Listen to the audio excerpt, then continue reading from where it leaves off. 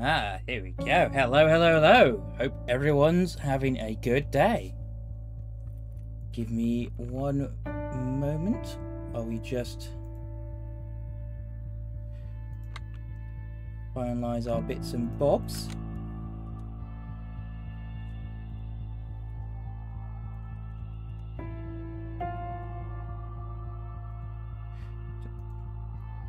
That anymore. Can close that off. All right. Hey there, cat. Uh, yeah. So just let me know if music is uh too loud or too quiet. Hopefully you can see everything all right.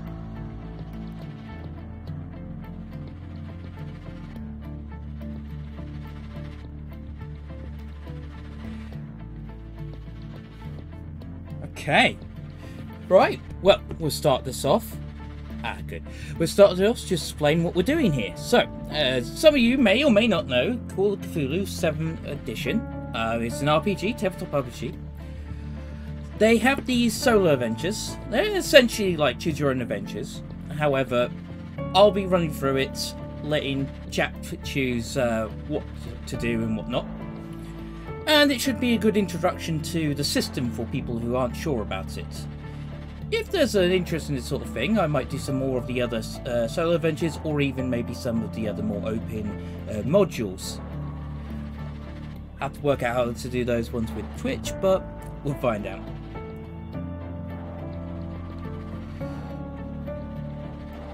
Alright, well, don't think there's much else to say, but uh,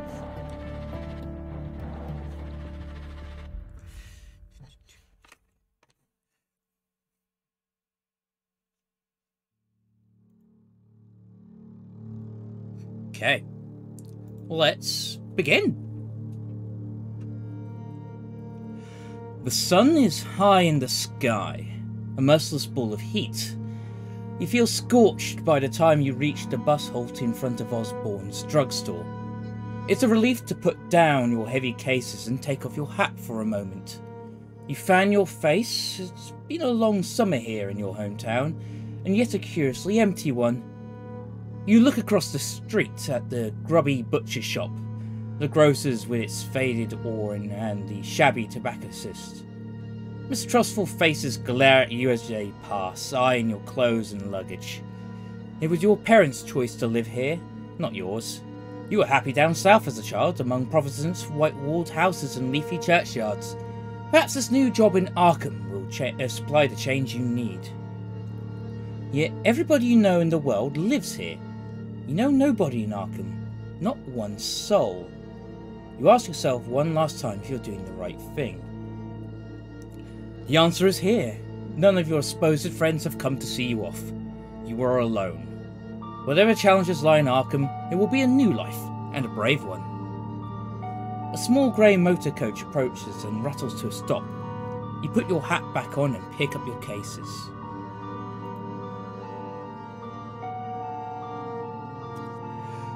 Two young men with sullen expression, expressions alight from the coach. One looks you up and down before heading away. The driver also steps down, glancing at you before crossing the road to visit the tobaccist. When he returns, he is rolling a cigarette between his yellowed fingers. He gives it a final twist and examines you as he reaches for his matchbox. He is a thin man in his fifties, dressed in a stained shirt with the bus company emblem, yet his eyes are sharp in their dark sockets. Where to? You show him your ticket for Ossipee. From there, you will connect to Rochester and Portsmouth, before the coastal line to Newburyport, and finally, Arkham. You should be able to afford a rail ticket for at least some of the way, otherwise, this will be the first of many long bus trips. Mm-hmm. The, bu- uh, the driver scratches the match and lights his cigarette. The end flares as he takes a draw. Then he exhales and gestures to the back of the coach. Luggage, luggage racks up there. Right. Now we start with a bit of character creation. So, we have strength, constitution, power, dexterity, appearance, uh, size, and intelligence and education. We need to allocate some values to them. So I will just I'll put them in chat. We have 40, 50, 50, 50, 60, 60, 70, and 80. So, we're using the quickfire method for, or at least a quick, really quick quickfire method for creating this character. What we'll do is we'll go through it, but I'll just give a quick breakdown of the stats. Let's see here. So, strength is uh, the higher it is, the more your investigator can lift or tightly cling to something, and it also inflicts like sort of damage in hand to hand. Constitution is your health and vigor, vitality. Size is like a combination of your height and weight. The higher the number, the more that is in total. Dexterity is for being quicker and nimbler. Um, appearance measures both physical and uh, physical attractiveness and personality. A higher uh, appearance is more charming and likable. Intelligence represents how well you learn and remember and analyze information. Power indicates your force of will, like a willpower and uh, resistance against anything maybe magical. Education is a measure of former and factual knowledge, such as like school, college, and whatnot. For most of these stats, 50 is considered human average, apart from size and indication where 60 is the average. So we'll start it off by saying the 40 um, stat. Where would you like it? Just give me one of the eight. Strength, constitution, size, dexterity, appearance, intelligence, power, or education. Right. 40 in appearance. Okay, we'll go with the 350. So one at a time.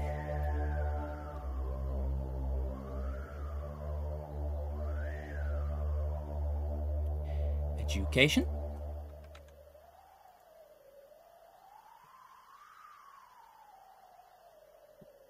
And the next one. Size. And the next one.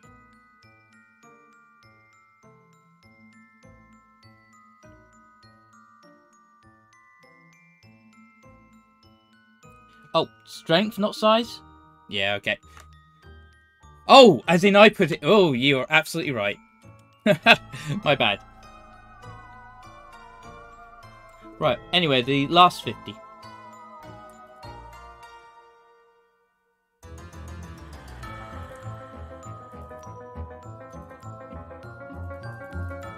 Power is sense of willpower. It also affects your starting sanity. It's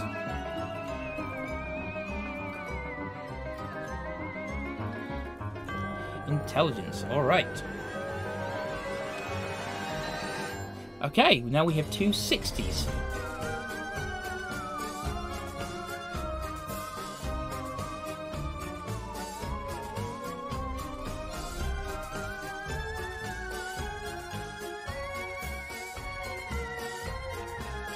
Dex. Excellent. And the other one?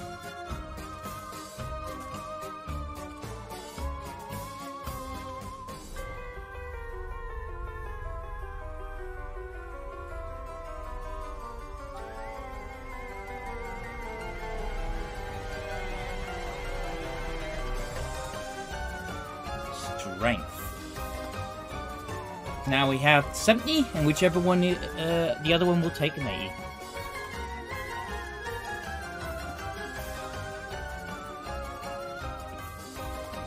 So which one will be the 70?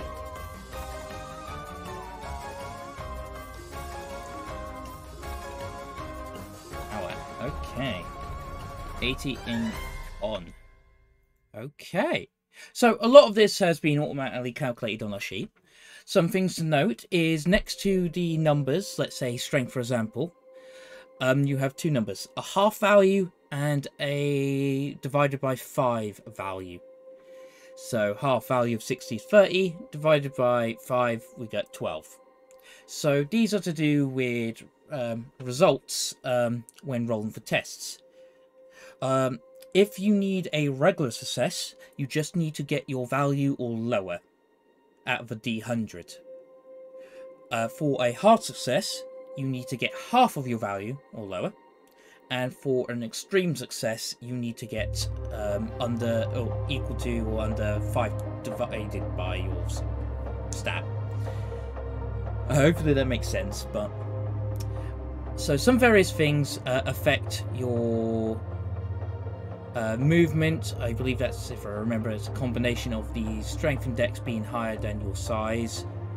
Uh, your build is affected by your size and strength? Or is it? Pretty one of those, which can affect things like extra damage or things like that, and of course, hit points. So we'll just put in these stats now. Very sane.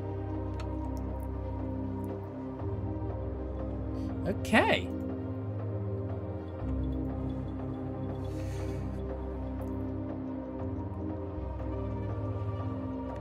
The driver smokes and watches as you drag your cases to the back of the motor coach. The rack is sent inconveniently high on the vehicle. You get a grip on the heavier case. So, just as an example, as about what some of this might involve, some of this will ask for checks, some of this will straight up note about certain values. For example, this is if your size is 40, you have to go to a specific uh, certain something happens. If it's higher, you go somewhere else. Your size is higher than 40, so The driver continues to enjoy his cigarette, watching with keen interest as you struggle with the cases. You grip your teeth and heave the second one into place. Perhaps the residents of Arkham will have better manners. The driver flicks his cigarette into the gutter and steps into the motor coach. The X engine coughs into life.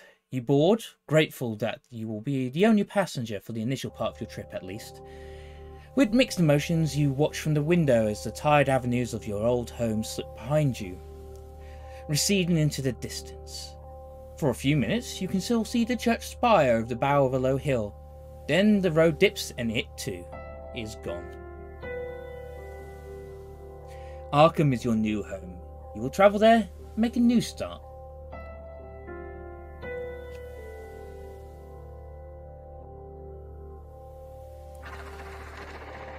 Uh, there's also something else I didn't put in the magic points that's also to do with power, but we will unlikely use magic in this if I recall correctly.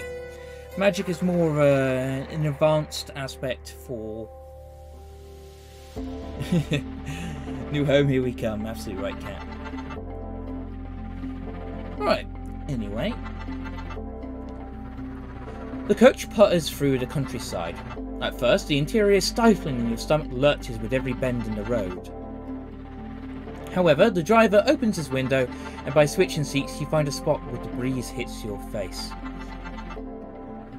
You soon relax into the journey observing the quaint little hamlets that the coach serves. A heavy-set woman boards at one settlement and gives you a polite nod. She gets off at the next one.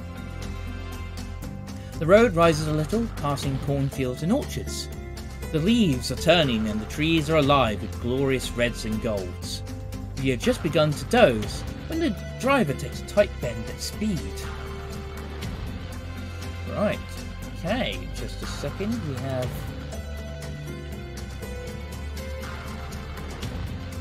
Okay, so. Uh, right, now we're going to roll for luck. Um, so, since in this we're not worrying too much about... Uh, it's a quick fire, very simple. So we're just going to roll once for luck and that's that. But in an actual, uh, like a module game, what you might do is, uh, depending on your age, you might get multiple rolls of luck or not. Luck is another stat that might come into play. It can come into case of maybe who is the unlucky one of a bunch of people that gets targeted, or it may be your luck in finding something. Maybe, for example, you want to try and find a knife. Um, the keeper who runs the game will uh, maybe ask you to make a luck roll. If you succeed, you find something, or what you were looking for. Such like that, as an example. There's not necessarily the only applications for it. But we will be rolling 3d6.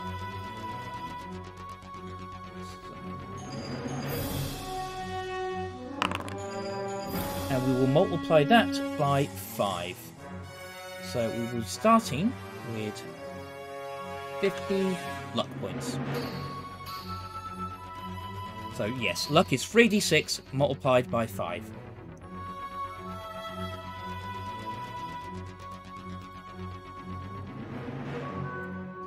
Okay.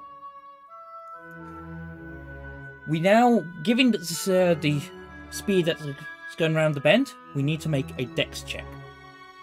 Simple as, we will select dex from character sheet.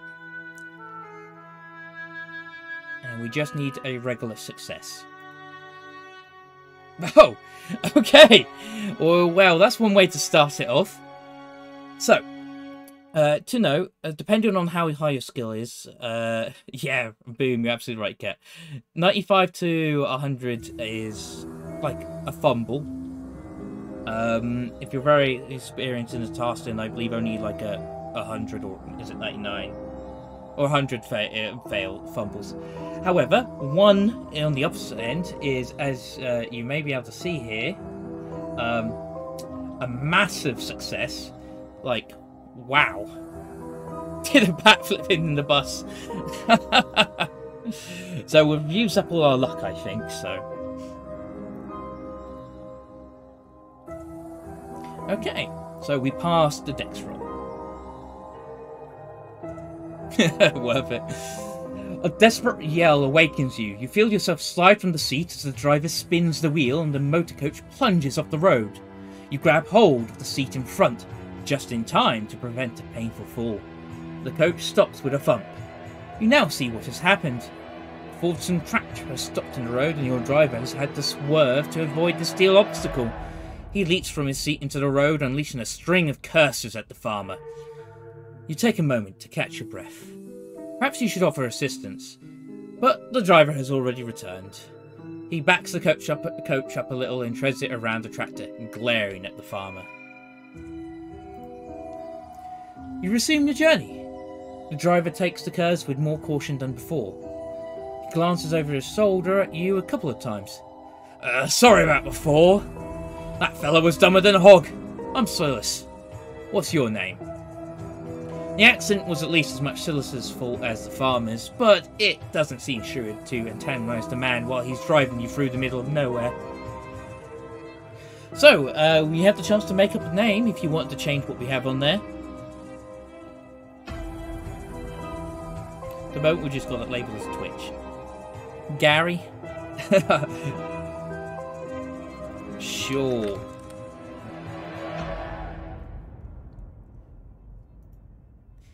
Gary. Okay.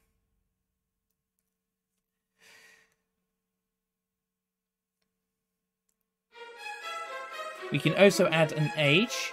The adventure recommends that you should probably around 23 to 36 for this one, but we're not going to really worry about any statistics to do with age. So,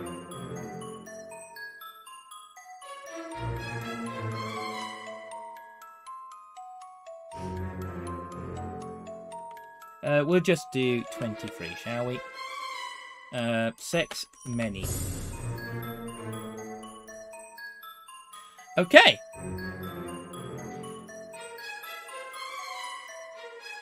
The coach turns onto a narrow road which weaves uphill through woodland. Silas becomes chatty. Going to Arkham, eh? I'll say I've ever heard of the place. Went to Boston once, didn't like it. Too much hustle and bustle. You got family there? A special someone waiting? The afternoon is wearing on. You see no harm in confiding in Silas about your new life. A job, eh? What's your line? Alright. you have a choice of five occupations antiquarian, doctor of medicine, journalist, private investigator, or professor. I will just note these again in the chat, so if that makes it easier.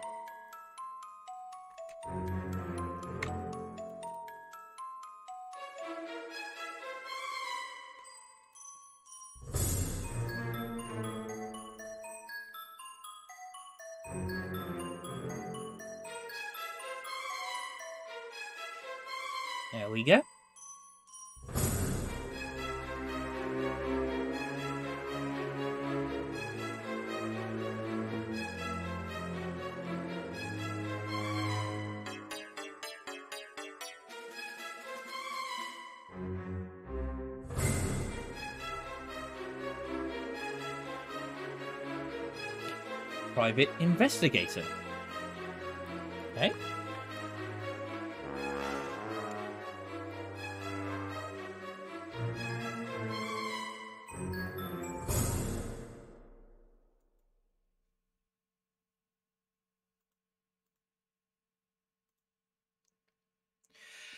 You skirt around the details of the profession in your usual way, mentioning only that you have helped the police to clear, clear up various problems in the past. Your heart pounds a little fast as you think of the post you secured at the Blackwood Detective Agency. You've had enough of investigating mar- marital uh, infidelity and bank clerks undertake. Sounds like the Blackwood Agency is just the opportunity you need to cut your teeth on some real villainy. Silas narrows his eyes, but he says nothing. Right, so this is going to affect some of your stats. So your credit rating. Credit rating is your wealth. Um, so for this, uh, just a second, I need to. Credit rating is 20. So not the wealthiest. Um, in Call of Cthulhu, you're not too worried about items and money. Um, if it's reasonable for your character to have it, then you have it. Bookkeeping is a lot more simplified in Call of Cthulhu than some other tabletops that you may be aware of.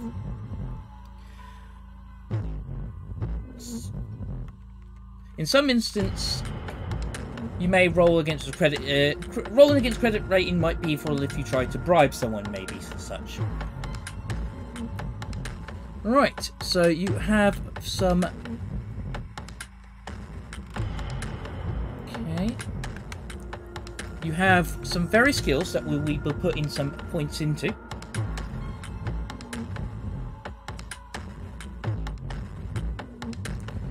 Let me just double check this.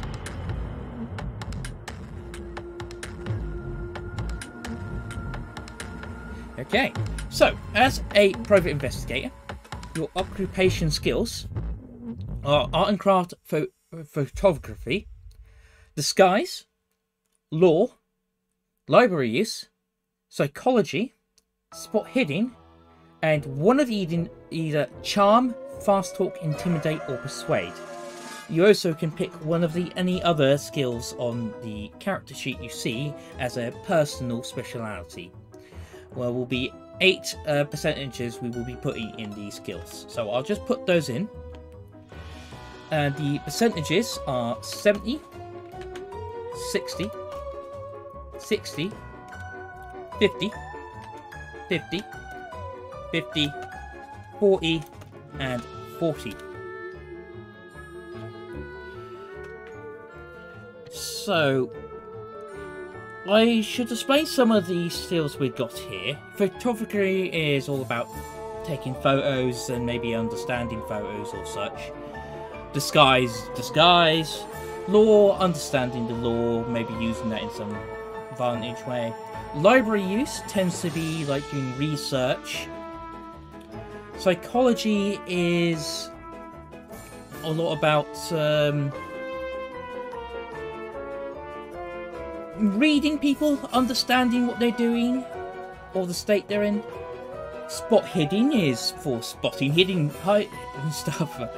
Um, charm is for trying to persuade, well, uh, trying to talk to someone with either nicely, compliments, flirting, to get him to see your ways. Fast talk is essentially when you're trying to get what you want through deception, like maybe a little bit of lie or such. Intimidate is, of course, getting what you want through uh, being scary, force, and whatnot. Persuade is trying to get what you want through more logical talk. However, persuade takes longer. It's um, gathered if you're trying to persuade someone, you're generally taking a good amount of time for uh, conversation. And as we note, uh, the any of the skills apart from credit rating and myth uh, Cthulhu mythos we can have as a personal speciality. So how about first we start off with picking the personal speciality. If there's any questions you have about any of the skills on the character sheet, just ask.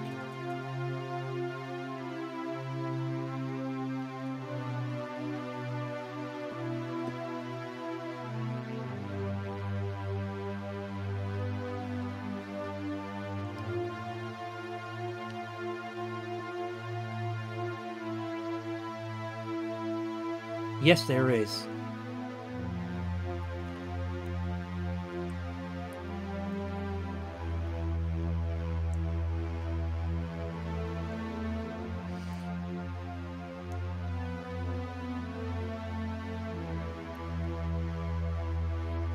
So, well, let's see. There's there's some combat skills like brawling and whatnot, or with firearms. Locksmithing um, can help you lockpick anything. Would you like to do locksmithing?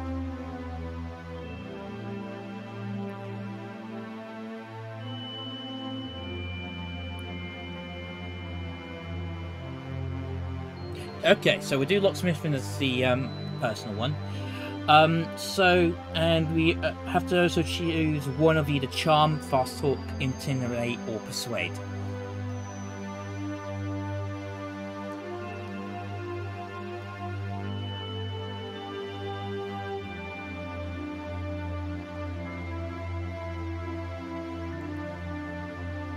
Intimidate. Very nice. Okay, so I will just put down an updated list of which eight skills.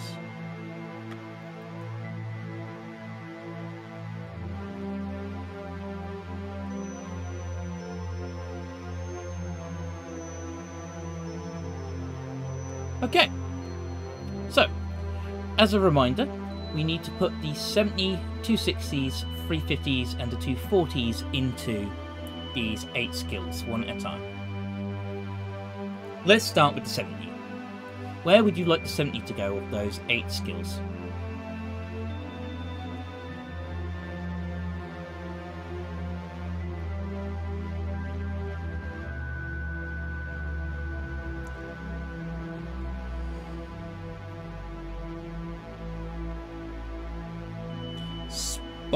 Hidden. Okay. So, I will note while we do this, if you're using a more in-depth customization, depending on what occupation you pick, you'll get occupation skill points and personal skill points, which you'll be able to spread around and customize it a bit more as you see fit. This is using some quick fire rules where you just put in the values as the book says. Right, uh, where would you like the 260s to go? Disguise.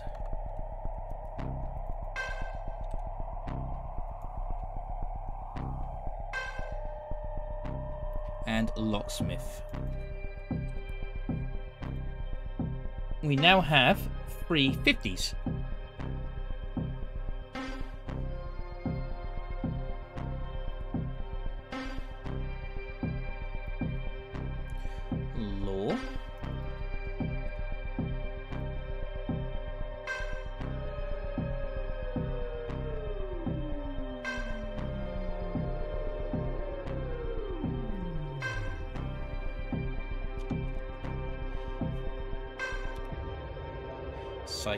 Psychology.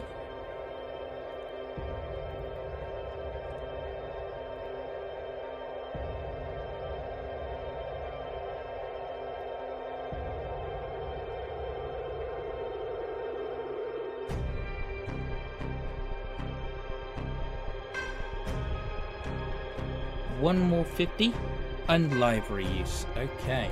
So that leaves the four E's to go into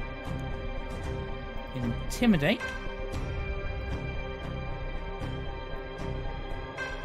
And what was the last one? Uh, photography. There we go. Okay, excellent.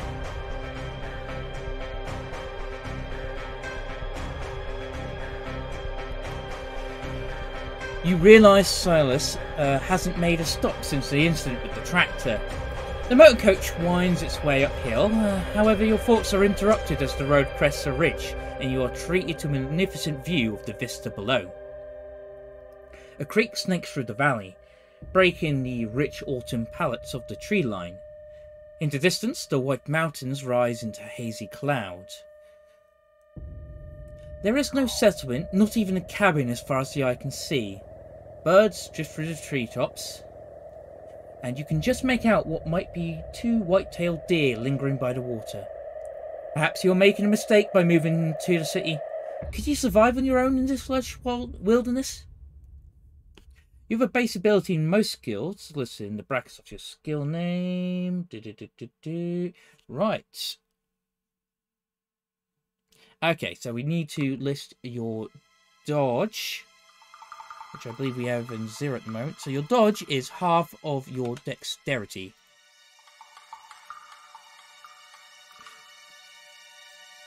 Dodge is, of course, used for dodging out of the way of things. Right. You now get to choose four skills as personal interest skills. These cannot be any of the ones we had for the occupation, and each of these will be boosted by 20 points.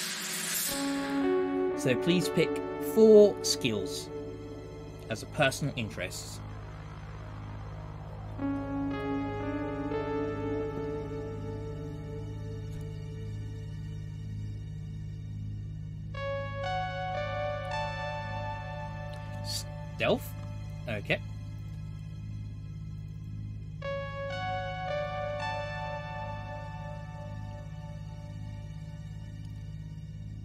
Dodge, yeah, we can absolutely increase dodge.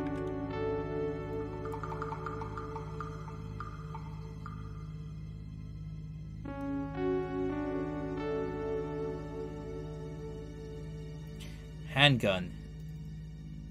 Very nice. One more.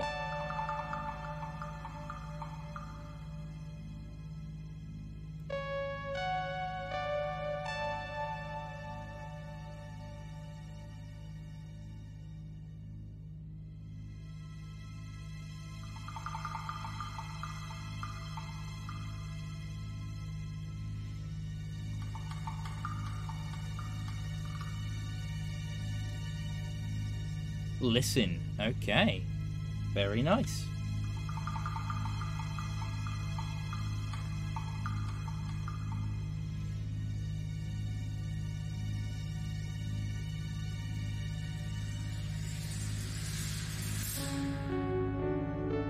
Okay.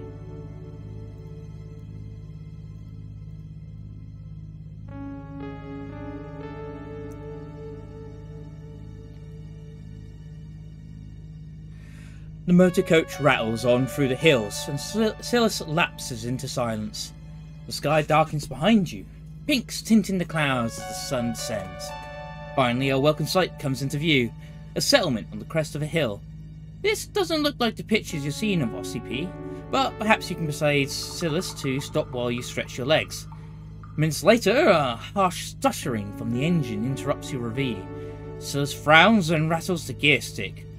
The motor coach falters in its ascent.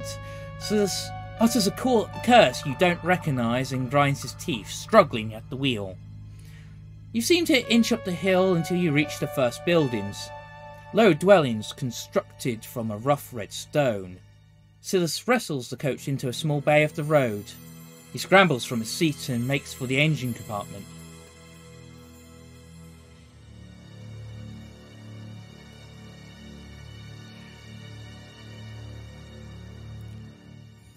Right, so you can choose to make a check for either drive auto or psychology. If you wish to investigate the vehicle yourself, drive auto. Or if you would like to get a better read on Silas, Silas, Silas, how you say his name, psychology.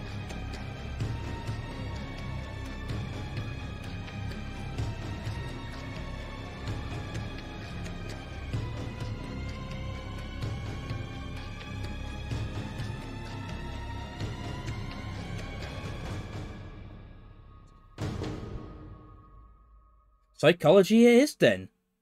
Okay, so we for this need a hard success. Oh, right, I got to.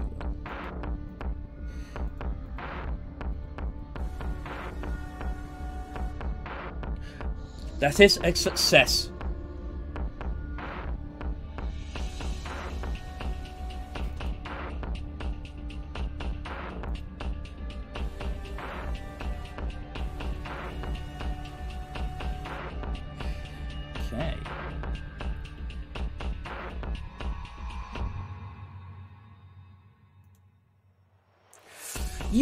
Sense of falseness to Silas's actions. He's acting. Either he's not as aggravated about the breakdown as his behaviour suggests, or perhaps the breakdown itself is an act. If this is a ruse to make you spend your time and money in a local shop, he will be sadly disappointed in your purchasing power. So, I will mention this here, so this isn't really relevant to the story necessarily, but you'll see these little stars that most of them are blue, but the one next to psychology is now yellow. So when you're playing many normal games of Call of, uh, of Cthulhu, when you succeed at a a check, you get to put a mark next to it to indicate that you've succeeded at it. And at the end of the adventure, as long as you have survived, you can make improvement checks for the skills that you have succeeded. Improvement checks, you basically have to try and fail the skill to show that you have learned something in it. But again, this is done right at the end after the adventure.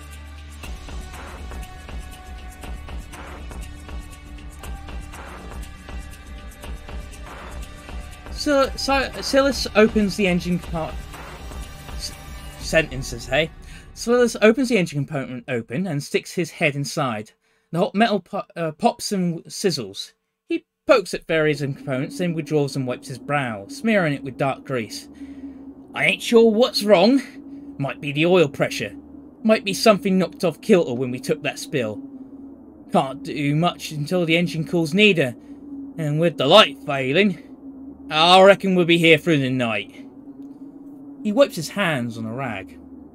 The shadows from your surroundings are already long and the air is chilly. You feel stiff from the journey and a night in the rickety coach sounds unappealing. Silas sees your dismay. This here's Emberhead. Miles from any place. Only come through twice a week, but the folks here are good people. May Ledbetter keeps a spare room. She'll look after you. Up that alley, turn right, first house on the left. He scratches his cheek, looks again into the engine compartment and spits on the ground. Meet me back here at 8 in the morning and we see how we stand. You can go and head straight for May Litterbay's head. Uh, May Le- Ledbetter's house? That's a na- uh, mouthful, that name. You can ask Silas where he will spend the night, or you can challenge Silas about the breakdown.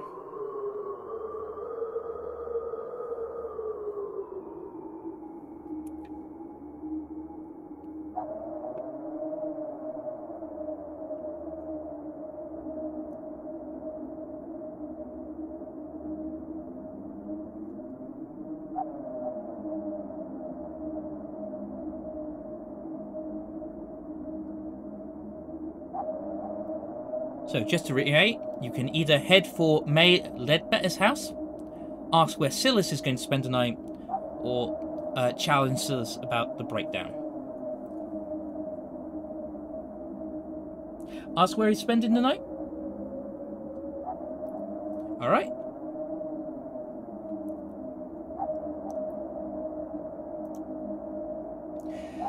You asked about Silas's plans. He gives the engineer a sour glance before answering. I got, mm, excuse me, I got acquaintances in the village. Reckon one of them owes me a favour. Enough for bread and breakfast in any case. He stares at his grubby hands. Probably won't stretch into a hot bath. You don't seem to have a lot of options. You fetch your cases from the back of the motor coach. The last thing you need is for all your worldly possessions to disappear into some stranger's hovel overnight. You drag your cases between the sullen buildings. You feel surprisingly wary, considering you have spent all day sitting down. Silas's directions lead you to a modest dwelling with a slate roof. A name plate reads Ledbetter, and underneath a sign in neat copper plate reads Lodging Room. The lane around you is gloomy, but a lamp flickers in the window. A breeze chills your face. You're not about to begin your new life by sleeping in the street, so you rap on the weather beaten door. After a moment, you hear footsteps inside the house. A bolt is drawn back and the wooden door swings open. A figure with loose curls and rough looking house dress peers at you. Her gaze takes in your travelling suit and your cases. Her voice has a slight Irish lilt. Hello, should I take it as you're looking for a room for the night? I don't think that's Irish, but you'll just have to go with it. you inquire as to her rates, suppressing a grimace. As far as you've seen, the village does not offer you many alternatives. Oh, you'll find them very reasonable, she says. You look tired. I'm May. Come inside and we'll talk over a cup of tea. The Ledbetter house feels cramped, with a low ceiling and simple fittings. But it is well kept, and the cheerful fire crackles in the grate. The aroma of tea is soothing, and the cup warms your finger. Oh, your fingers. Have you come to Emberhead for the festival? asked May. You can either explain what happened with Silas and the coach, or you can ask about the festival while you enjoy your cup of tea.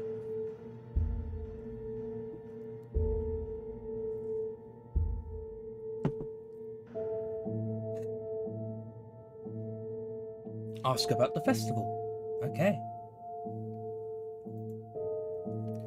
Well, now, I suppose the festival is about the only reason folks come to Emberhead. I thought you had maybe come to study it or take photographs. Well, it's not tomorrow night, but the night after. I suppose it looks very strange to a passerby. May tops up your tea. The spout clinks against your cup. We've got the beacon, you see. One night every year there's a torchlit procession, and we light the beacon on the cliffs. You've never seen the like of it. They say it keeps the spirit of the village alive for another year. It's a celebration. A celebration. She tails off for a moment and blinks. But you didn't come here to listen to me blather, and you must be hungry. I can rustle you up a bit of stew. How would you like that? You ask again about her rates, and May names a price so low you accept it without hesitation. The room is small but comfortable, and the stew is dark and hearty. After dinner, you have a couple of hours before your usual bedtime. You may talk to Mason more, or walk around and get your bearings, or you may turn in for an early night.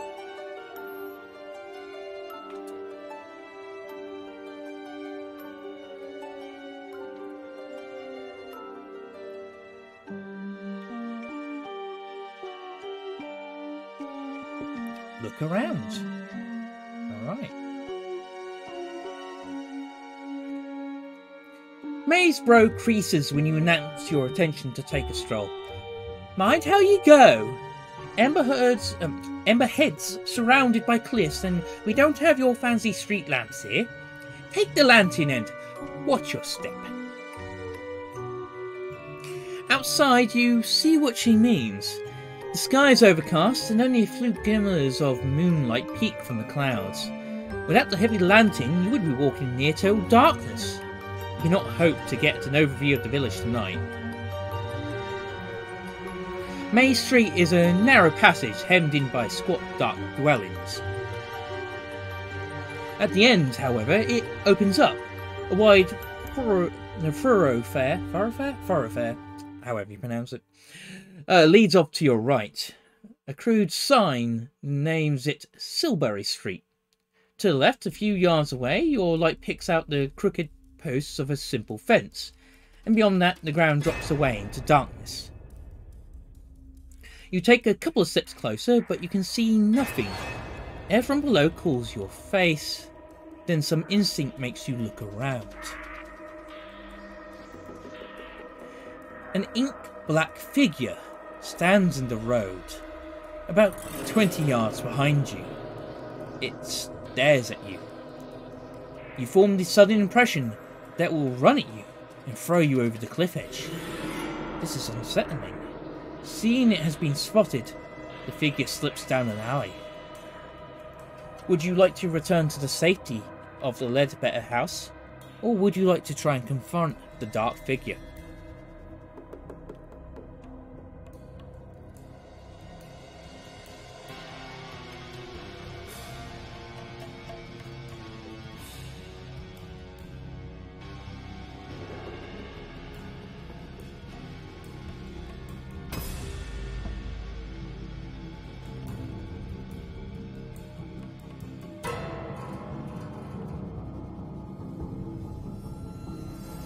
Confront seems like a bad idea, but you're curious. Well, would you like to confront, or...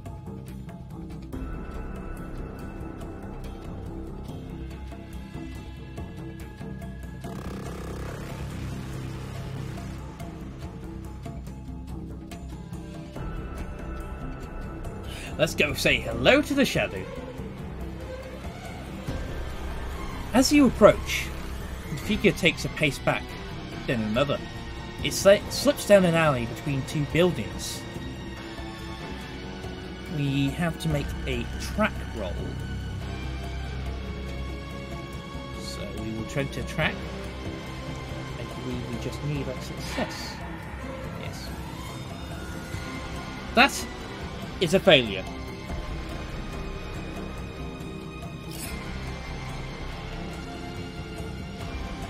The figure moves fast, with almost silent steps. You are hampered with a heavy lantern in an unfamiliar environment. You emerge from the alley into a dusty courtyard and can detect no sign of your quarry. You scratch around for a few minutes, but the figure has gone. It seems unwise to continue a stroll through unknown dark streets while this threatening presence is abroad. You head back to the Ledbetter house. May lets you in and settles back in her chair. Soon she begins to yawn. Ah, oh, I believe our turn in. When would you like your breakfast? As May stands, you hear a clunk behind you. You look over your shoulder, but all you see is a wooden door, securely closed. May tuts. Ah, the young lady of the house. She have been listening to us. Ruth, come and greet our guest.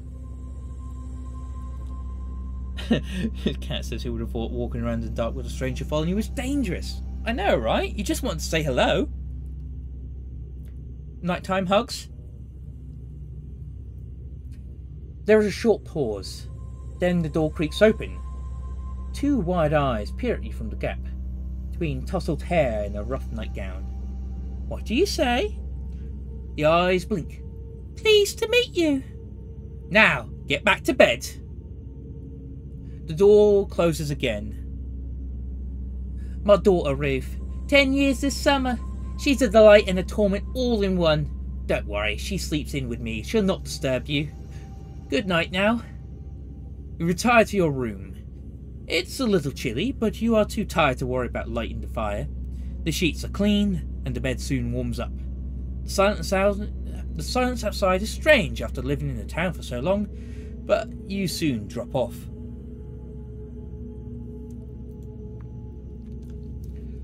You dream of fire in the grate.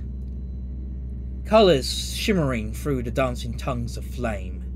At first they are tiny, almost microscopic, but they grow, and grow, until a kaleidoscopic inferno spills from the fireplace, spreading across the floor, up the sheets, and you wake with a start. Daylight glints through the curtains. You get up and examine the grate, blinking the sleep from your eyes. It is quite cold.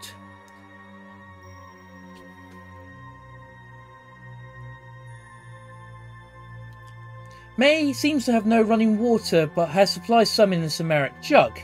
You freshen up at the the washstand and go in.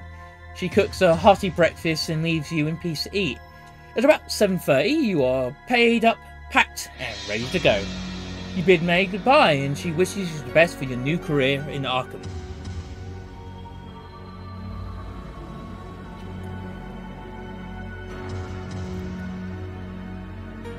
You are already tired of your heavy bags.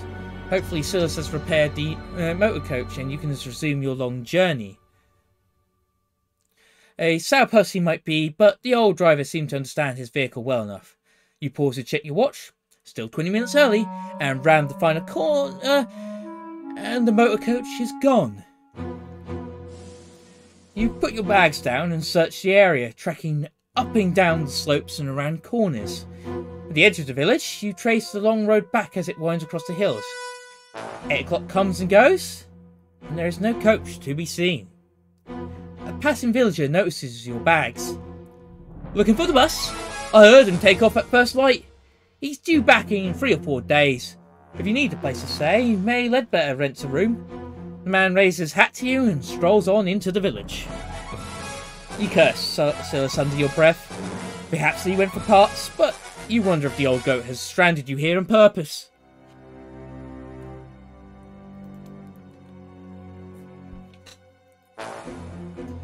May is doing laundry and looks surprised to see you again. You're absolutely right, Cat. How rude of him. Forgot something?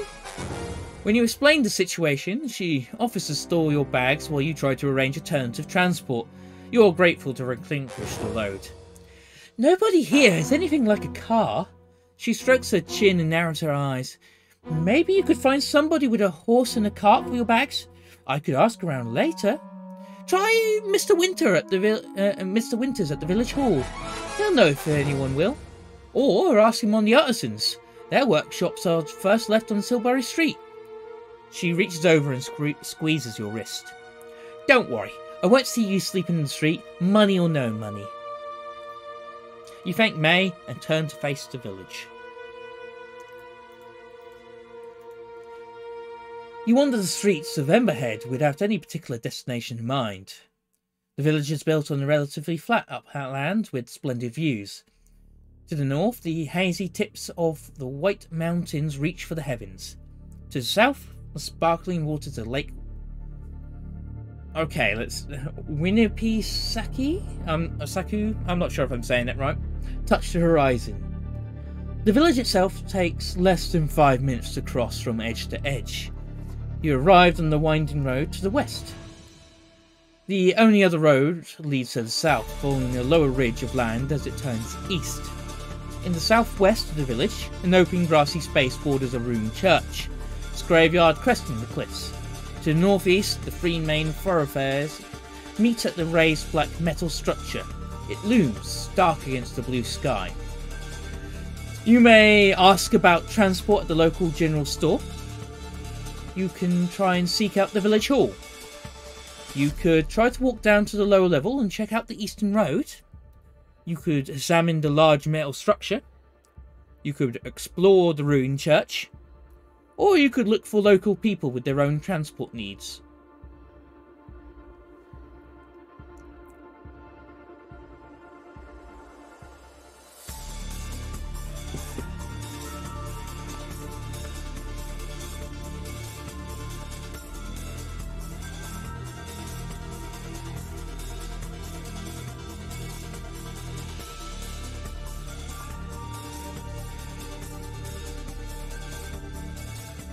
Was the first? So it was ask about transport at the local general store, or you could seek out the village hall, or you could walk down to the lower level and check out the eastern road. You could examine the large metal structure, you could explore the church, or you could look for local people with their own transport. or transport needs, I should say.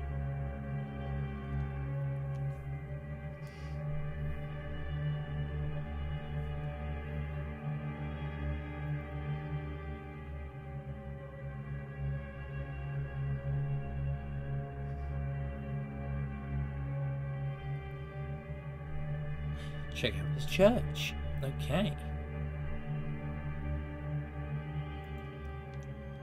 You cross the street towards the church.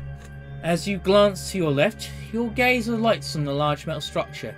Something bothers, you about its positioning. You back up and look again.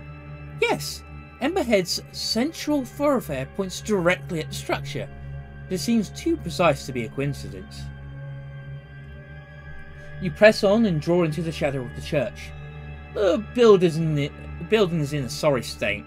The top of the steeple is missing, a ragged gash of splintered boards marking its absence, and the floors beneath it have collapsed. It appears to have torn through the roof of the main building as it fell. Only the back half is still intact. The white paint which once covered the church has yellowed and peeled. It seems safe enough to explore the rear section. Old pews are stacked against the wall, choked with mildew. Most of the windows are broken. You guess this church has been disused for about 20 years or so? There's little more to interest you.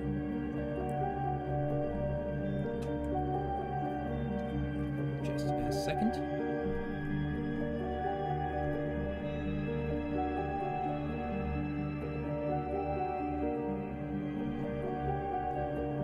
Okay, we need to make a ride check.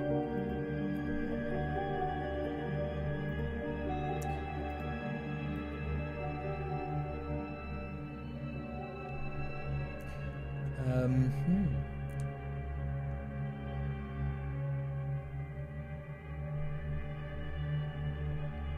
And for and you will also have a bonus dice for this check. So when bonus dice are rolled, um, so how it works in general is for the D100, essentially two D10s, one for the single digit, one for the double digits. Bonus dice means you get to roll the tens digit twice, and if it's a bonus, you take the lower number. If it's a penalty, you take the higher number. Okay, let's have a look. see. Ride with a bonus dice. Now, surprisingly, that is a fail.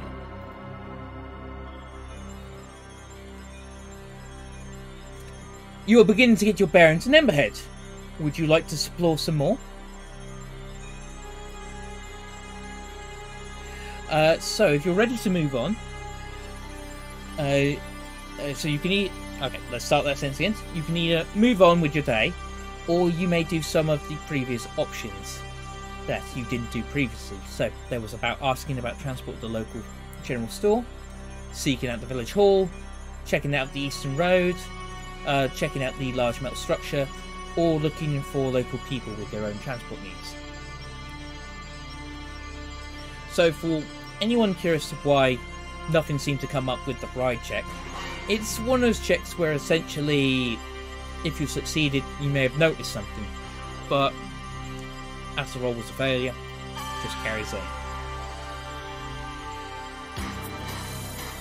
The large structure. You walk up the approach, the most central of the village's major streets. It points directly at the odd metal structure. As you emerge from the shade of the nearby buildings, you are greeted by a magnificent panorama spread from the north to the southeast. The last colours of fall tint the hills in a sleepy gold. The structure, by contrast, is made from uncompromising iron, singed black. It sports an immense curved platform at the level of your head. Further struts snake up to a central point. It looks like they may have been some kind of sculpture at one point, but are now twisted and melted beyond recognition.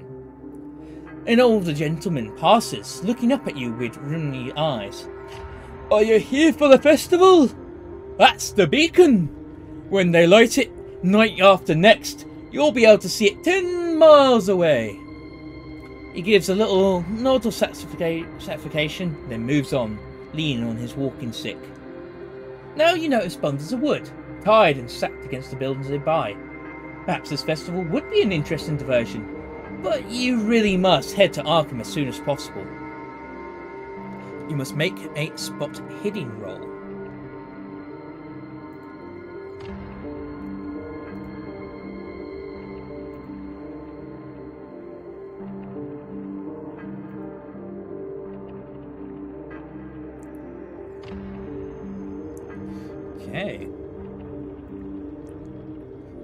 That is a success.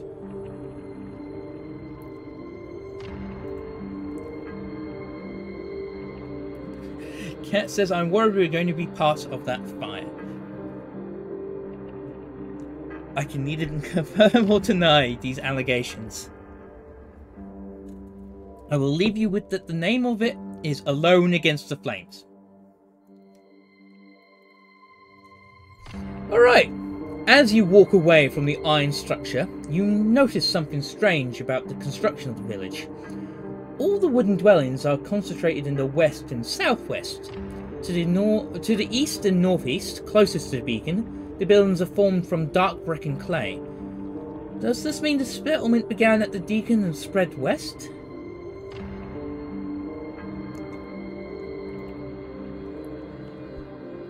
Okay, would you like to explore more of Emberhead? So you can either choose to move on with your day, or you could ask about transport at the local general store, seek out the village hall, check out the Eastern Road, or look for local people with their own transport needs.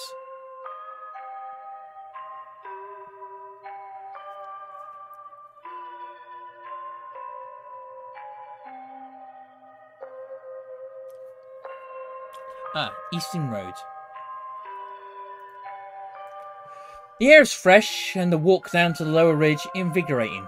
You notice cultivated fields stretching through the lowlands around the Emberhead, and among the crops some livestock. But no horses.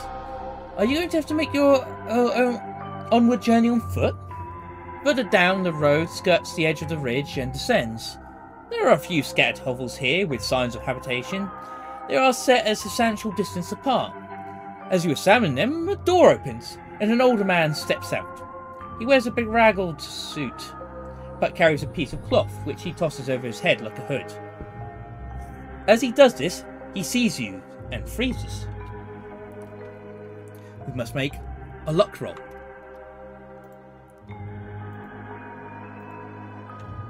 A success?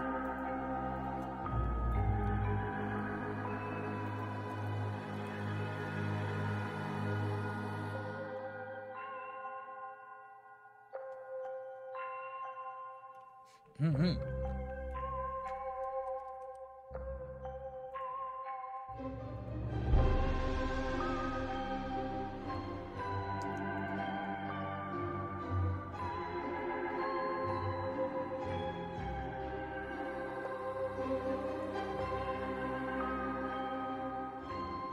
so close to free. You're absolutely right.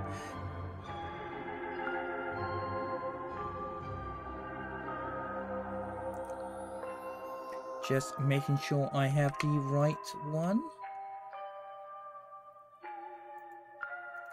The man looks up the village, scanning the cliff tops.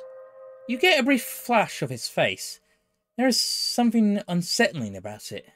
Then he turns to walk away from the road, but as he does, he raises a hand and slowly beckons to you. Would you like to follow him or not?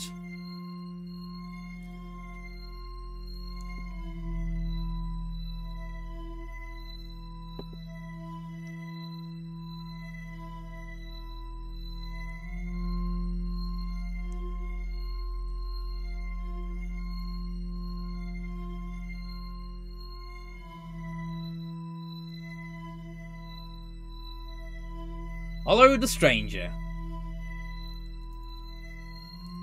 You follow the man around the outcrop. He glances up, then steps between two rocks and vanishes. Closer inspection reveals a narrow channel leading into the cliff. There's just enough light to see a small natural chamber within. You will be uncomfortably close to this man if you go inside.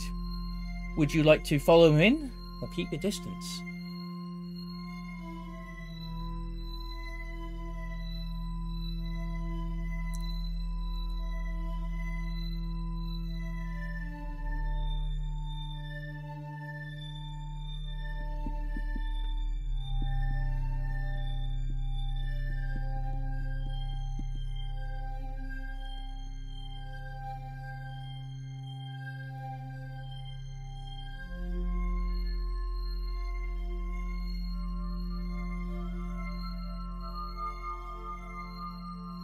Let's keep. Uh, hang on a moment.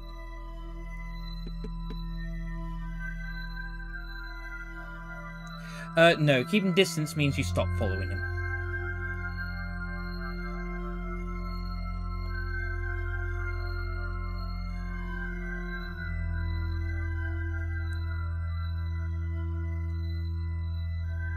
Then let's hug. Okay, you got it.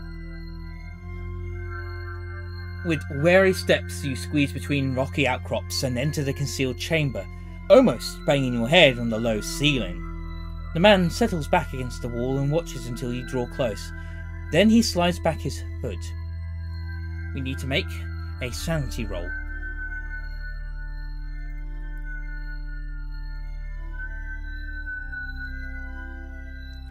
A success.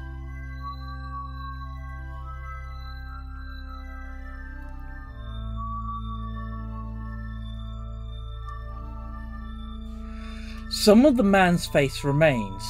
A strip from the side of his jaw to his right eye socket is healthy and pale, if aged, but the left side is consumed by angry scar tissue. One eye droops, hooded by melted flesh, and the nostril on that side is pulled open to leave a gaping hole. The disfigured man studies your reaction with his one good eye. Name's Arbogast. Willard Arbogast. Guess I don't need to ask what brings you to Emberhead. You can either claim to have come for the festival, or admit that Silas has stranded you here.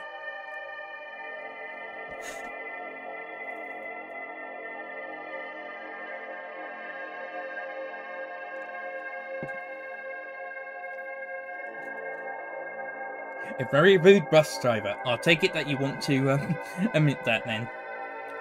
a very rude bus driver brought me here. Alright. That, that swollen mouth gives a little twist downwards. Son of a bitch has rat's blood. His fingers tighten into a fist. Arbogast fixes you with a lopsided yet intense stare. You seek me out, eh? He looks up at the cave ceiling. Which one of them told you about me? Never mind, it doesn't matter. Truth is, they fear what I know. They never come at me direct. Don't want to end up like old Arbogast, he giggles. The high pitched sound is all the more grotesque coming from those bloated lips. Then abruptly his gaze turns to iron. Emberhead died 40 years ago, shattered by flame, consumed by the stars themselves. The ancient hill was cleansed by Inferno, and from the blackened ground came new life, as is the way of all things. The Abenaki knew. Arbogast wipes his nose on his sleeve. Except none of that happened. The flames were turned away, the necessary death postponed a year, and a year again. And now those up there, he scrabs his scrawny finger at the ceiling, think themselves saviours of the village. Think they can defy the uh, great old ones. Ah, Kaf- Kafuga. He shakes his, shakes his head. With strange eons, these lives matter less than the blink of an eye. Fierce intelligence burns in his gaze, but you suspect Arbogast might be quite insane. Should his move change, it would not be difficult for him to seize one of the loose rocks and crack his skull with it. You can ask him about the Abakag, Abenaki. You can ask him about the Great Old Ones. You can ask him about the villages, or you can leave.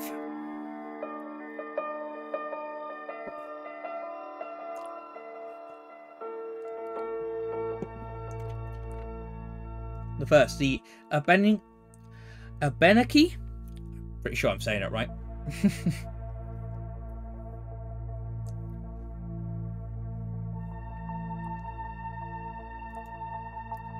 yeah, it is hard to pronounce.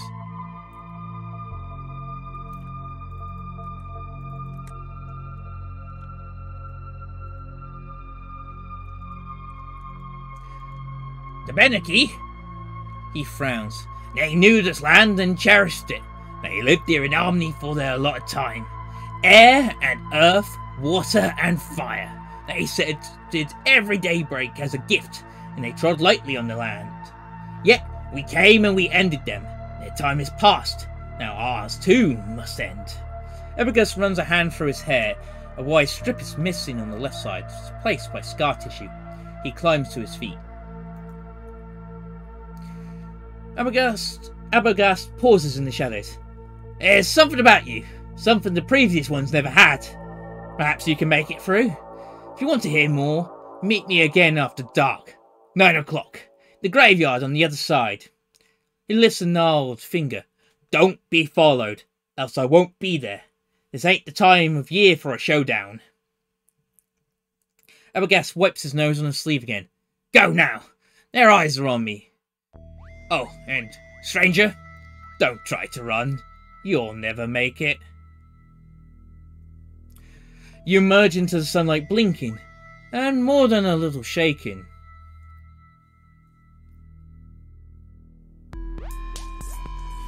Okay, just a second. We've discovered a secret.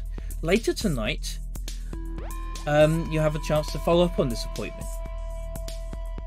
Uh, I will just make a note of this.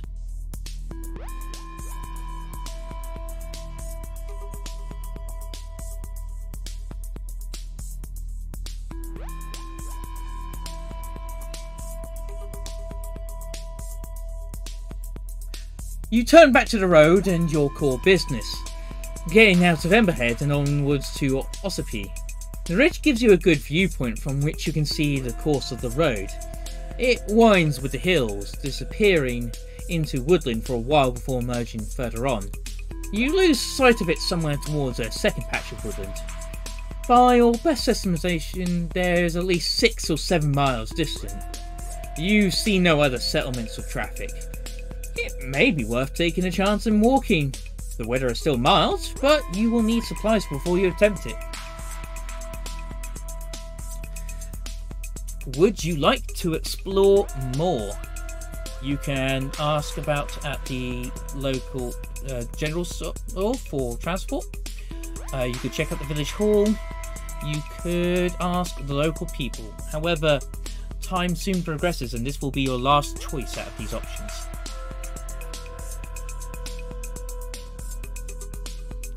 Did I mention the village hall? I did, didn't I? Yes. So, you can ask about transport at the local general store, check out the village hall, you could uh, look for local people with their own transport needs, or you can just pass the time and move on.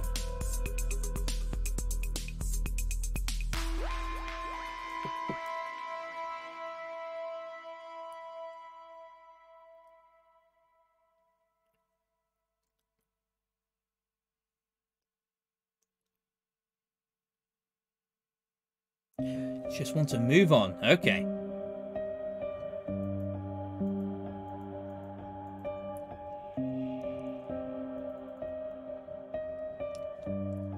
Your morning excursions have left you hungry. You roam the streets of Emberhead looking for sustenance. There's nothing resembling the busy cafes of your hometown, or anything that might be called a restaurant.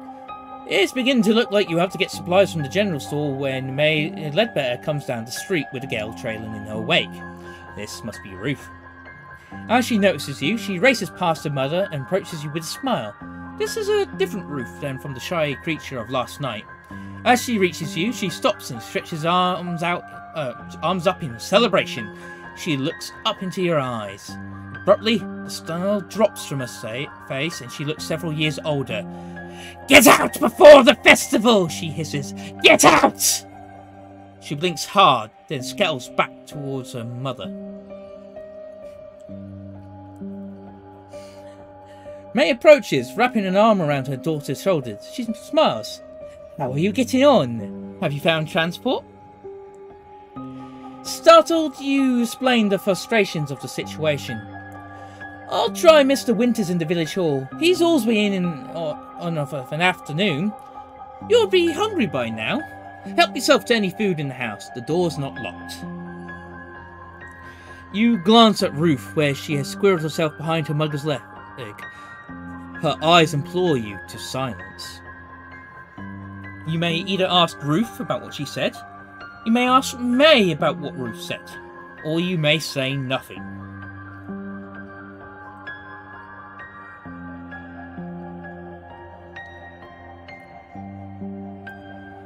Nothing?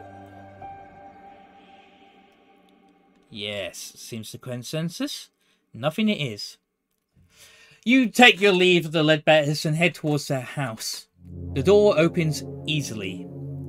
In the low kitchen, you make a meal from stodgy bread and leftover stew. A little window offers a view to the mountains. Yeah. Chat wants to keep a low profile, nice and smooth. If you learned one thing this morning, it was that Emberhead's streets hold little to occupy the visitor from out of town. But there are still about five hours of daylight remaining. You could take some provisions and the bare essential from your luggage and set out in hope of reaching another settlement before dark, or you could ask advice from Mr. Winters. Would you like to prepare and try to walk out of town? Or would you like to head to the village hall?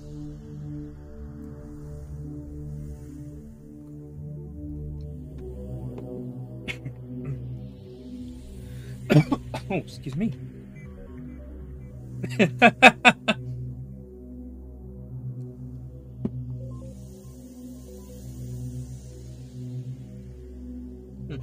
Running into woods? Fantastic idea, eh? Right, so is that an idea that you guys want to try and um, talk to Mr. Winters then? Town Hall?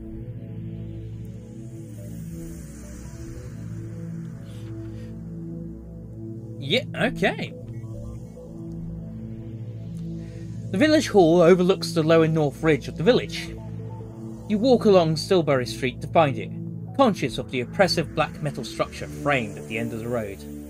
The shutters of the hall are open and some windows left ajar. There is no knocker, but a little bell over the entrance tinkles as you push the front door. Inside, a study door to your right is marked Private. To your left, an opening leads through to a bright room. You take a few steps inside. Benches line the walls and there are two notice boards uh, mounted between the windows. You may either examine the notice boards or knock on the closed door.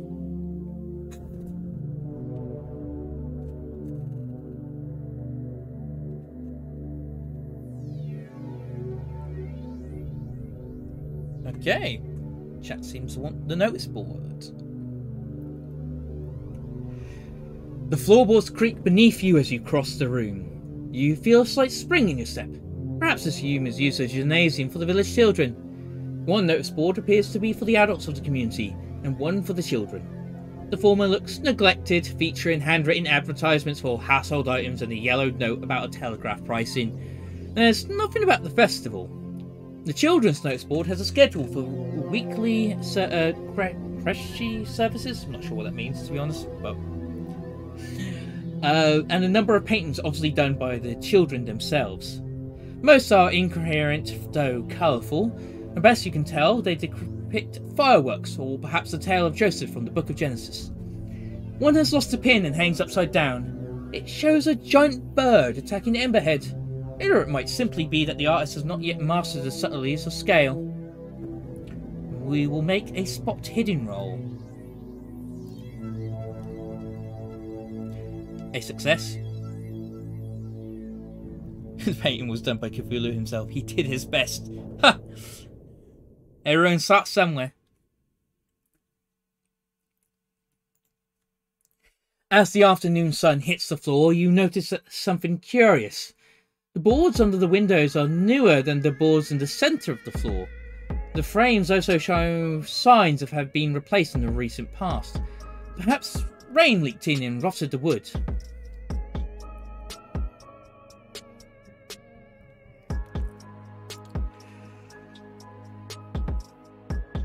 Even Eldritch God needs a hobby.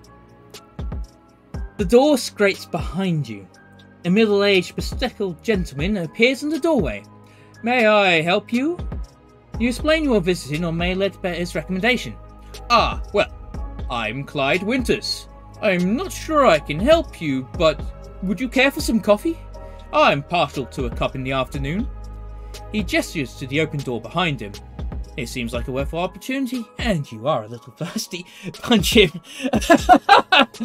I'm afraid punching him is not an option. But I love your gusto. You step through the door marked private. The other side of the village hall is uh, in marked contrast to the public space. The room is compact, lined with shelves of books and file clothes. One corner reserved for a tiny pantry and what is presumably a water closet. Cat says don't punch him, shoot him, we're better in handguns. I like to imagine it's like voices arguing in their head.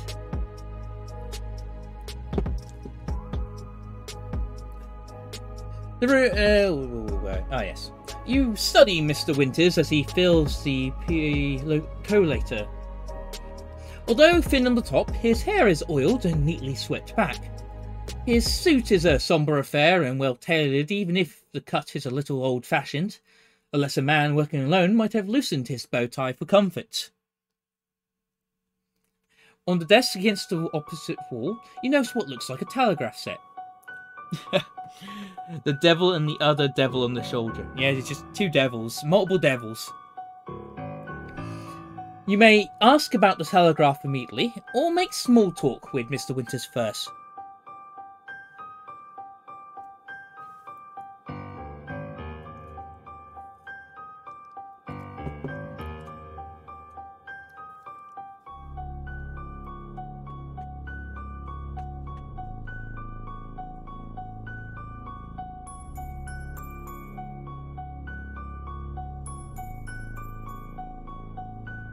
Little split here.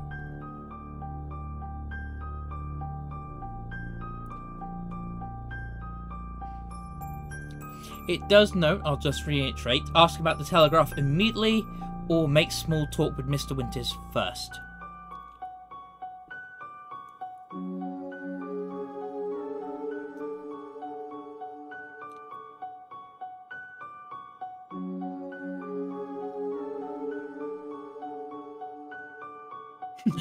Small talk is so awkward.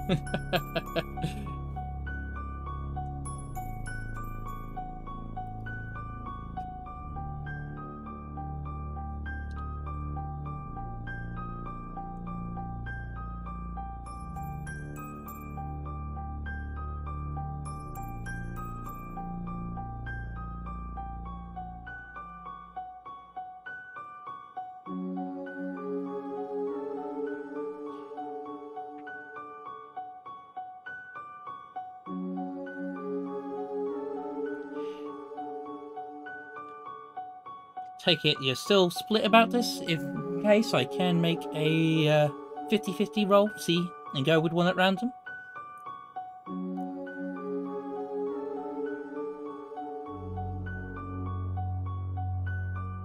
Okay, we're just going to go ahead and ask him immediately. The telegraph? Hmm, yes. Much as we value isolation, we do need the link sometimes. You were hoping to send a message? I must apologize. The line has been down for two weeks. I reported the fault, but of course, they're not so speedy when the problem lies in a rural area. I'm expecting a day, uh, a, a I'm expecting a repair the day after next. I do appreciate how frustrating this must be. The coach is due in, what, three days? But I think he's going west. Perhaps he might engage a wagon. One of the farmers might. You explain that you've asked a few of the residents already, but to no avail. I'll tell you what. Winters pours you a steaming cup of coffee. The dark liquid smells rich and strong. When the repair crew arrive, I'll ask them to take you back with them. How would that be? They might want a dollar or two to grease the wheels. Uh, day after tomorrow? It's less than a deal, but it's the first real opportunity you've had. You can either thank Winters and Leaf, or you may ask about his library.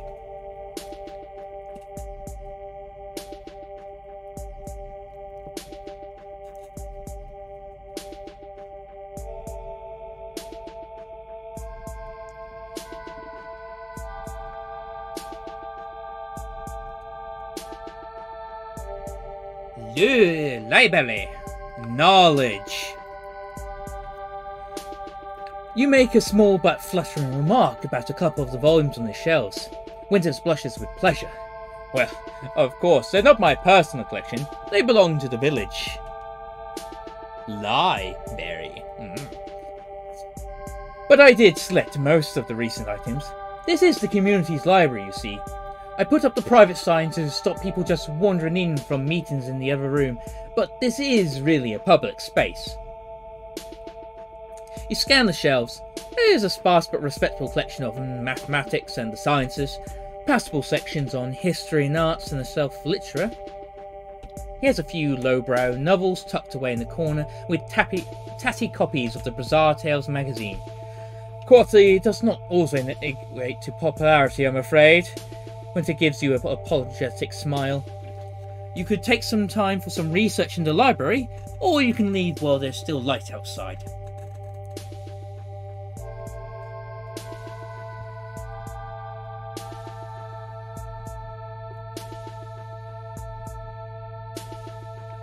Research.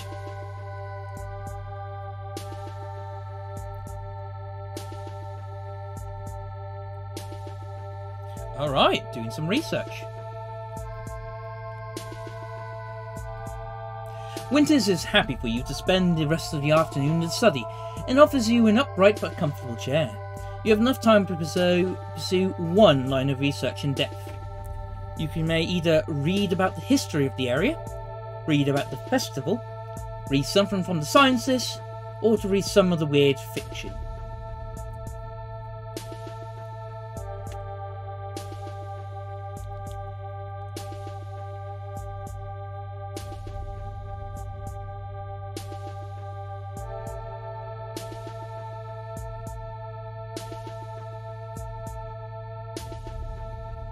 We got something for the festival.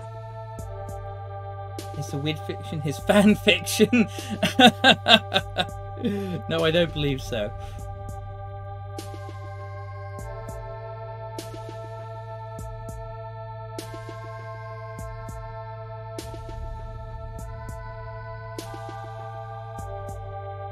Festival seems good. Okay, looks like we're going with festival. You're not surprised to find there is no published work on Emberhead's festival. Winters pokes around and finds a case monograph, handwritten on the yellow paper by a Dr. Anolowski. Sonic X Samurai Jack. uh, an acquaintance of my father's, I believe. The manuscript is somewhat difficult to read and you make slow progress. Anilowski speculates that the festival has its origin in pagan rites brought over by the Celtic settlers, which celebrate the ancient festivals of Beltane, Samhain, Imbolc, and Lugnasundag. Ah, if I said that right. I apologize for uh, uh, mispronounce any of those.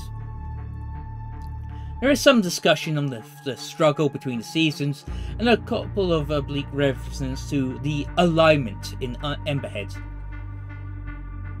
Anoliski suggests that the meaning of the festival slowly changed around the turn of the century. The monograph terminates mid-sentence at the end of a page 28, just as it begins to discuss the modern practices. You ask Winters if he has the remaining pages. No, I'm afraid those have been misplaced. Perhaps they're still in the library somewhere, but... He shrugs. I must make time for a forest stocktake. The afternoon wears on. You have not quite finished your reading when Winters glances out the window and stands up. He clears his throat. Okay, we must make a credit rating check.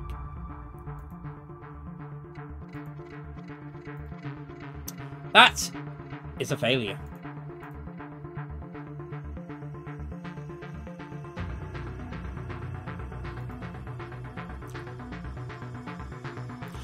I'm afraid I have some errands to run before dark, so I must close the library for today. I do hope you will return tomorrow afternoon if, uh, afternoon if you're so inclined. You leave the building with Winters, waiting as he locks up. You thank him for the coffee and the access to the library. he disappears off down an alley.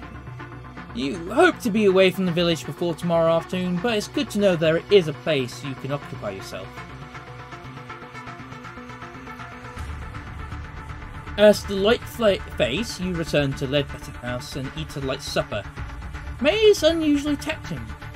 Ruth's eyes flick to yours several times during the meal. There is an urgency there you can't quite interpret. Afterwards, May ushers the girl into their room. You've been in Emberhead for barely one whole day, and you already feel confined by it, both geographically and socially. The evening seems to offer little. You may either do some stargazing, attempt to speak to Ruth, or you can follow up on your previous appointment with uh, Arbogast.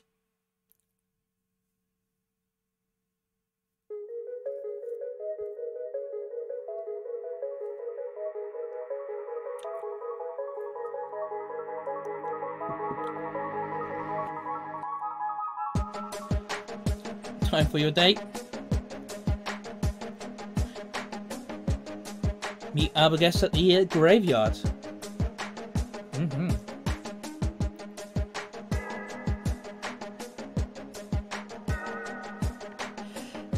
Is not at the appointed meeting place. You give him 10 minutes, but he doesn't show. You curse the old crank and head back towards May's house. Psst! A hand snakes from a doorway and grabs your arm. You jump at the sight of that half-faced glimpse in the starlight. One of them's near, he whispers, watching. Come with me.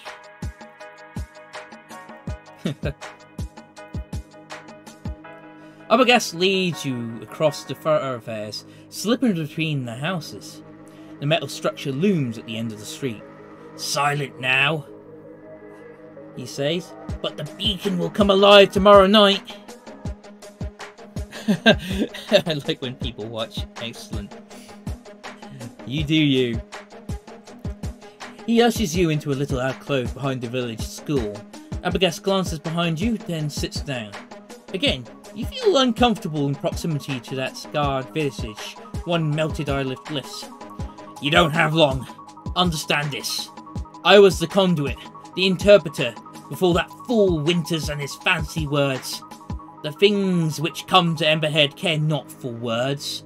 Those idiots think this is a ritual sacrifice. He spits on the grass. It's a ritual control. They know the words, but they do not comprehend the forces they call. He sniffs and sits back. No! You have no time for more questions.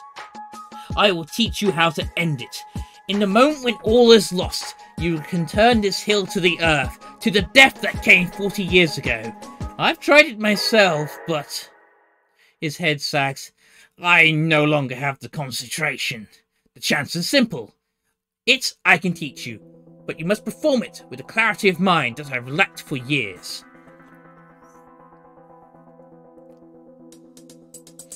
If you wish to learn the strange chant, well, you may learn the strange chant, or if you've had enough of his nonsense, you may leave.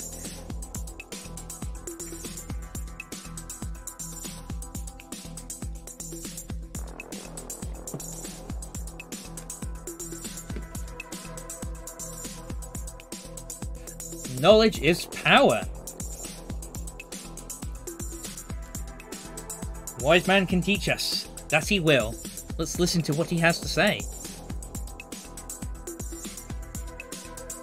You feel very dislocated from reality as you slip, sit on a cliff top behind a school at night, learning the chant by rote from a madman.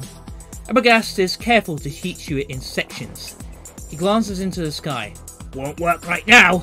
Cloud covering the star! But he still takes care not to pronounce the whole thing at once. It has a rhythmic beginning and various ablations, but the core passage is repeated three times. Feel Nglum Mirklif Auf uh, Kufugak Formula Hahuf Naga Gahunuf Tutang Ilf Kufuga. I may have pronounced it right, don't suppose it matters. In time, Arbogast listens to your recital and nods. Remember every sound, but never speak it if you have plans left on this earth. Discover the secret.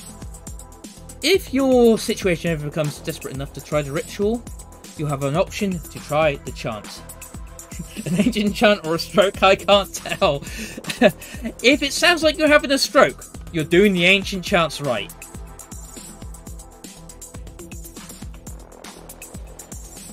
Just put a note.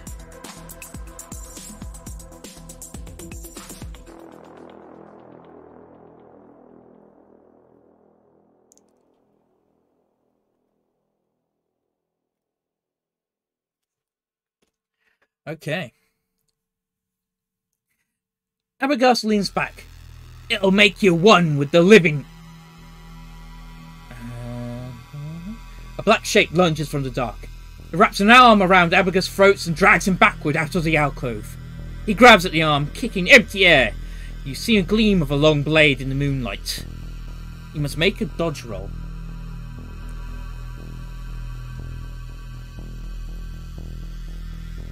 A success.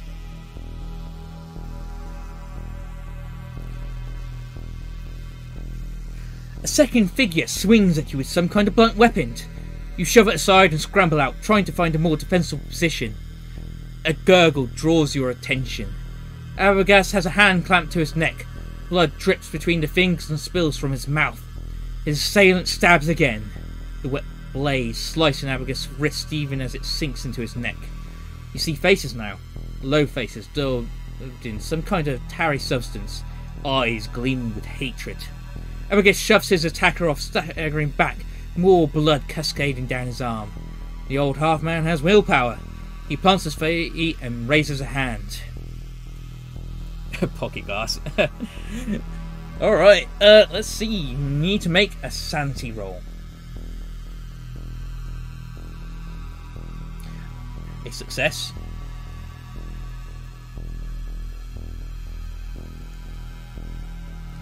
Arbogast howls, a choked wet sound. He stabs his palm forward, fingers curled in a strange gesture. Fire springs from the ground at his feet, a flickering blue wave. It rushes in a stream as if following a line of gasoline, directly towards each attacker. Hungry, it climbs their clothing. They shriek as the flames touch their flesh. Arbogast drops to one knee. His face is pale in the illumination from the fires. His head hangs forward. Yet even as his hand shudders, his eyes are alight with intractable will. The assailants scream as they flee in different directions, eerie light playing off the buildings as they pass. They leave behind a terrible pungence of seared flesh. Tiny suits of fire dance in the grass for seconds longer, then vanish. Our guest drops.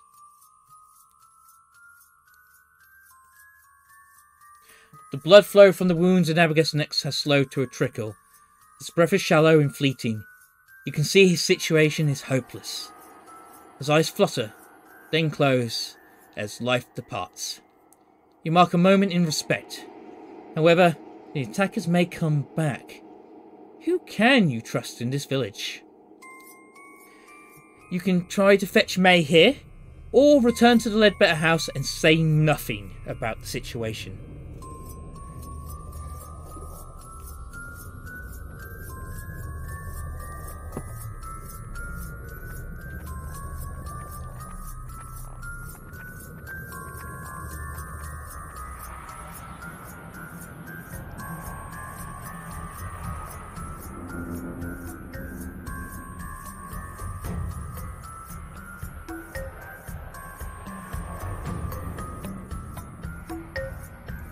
Just to reiterate, it's you can may either bring May here or return to the house and say nothing.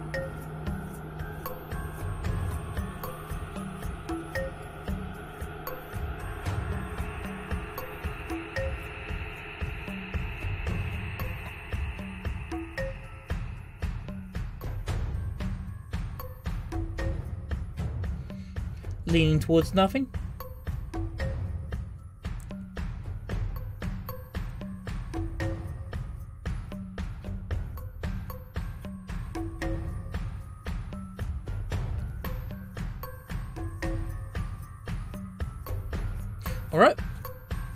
With nothing.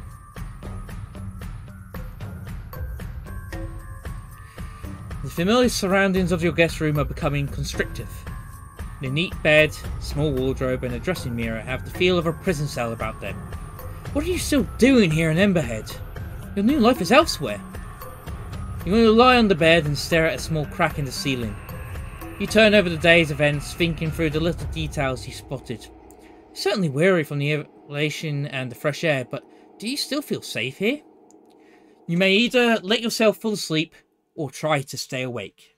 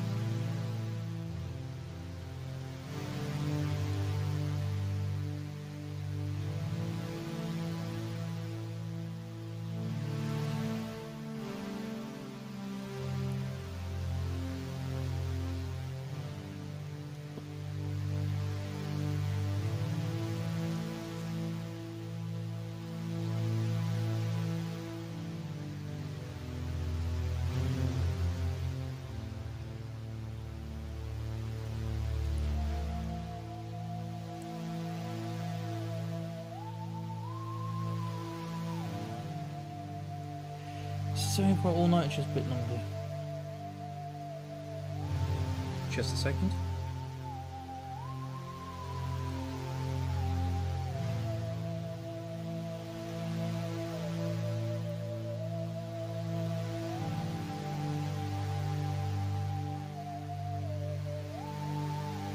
Um, from the wording of it, I would say trying to stay awake probably all night.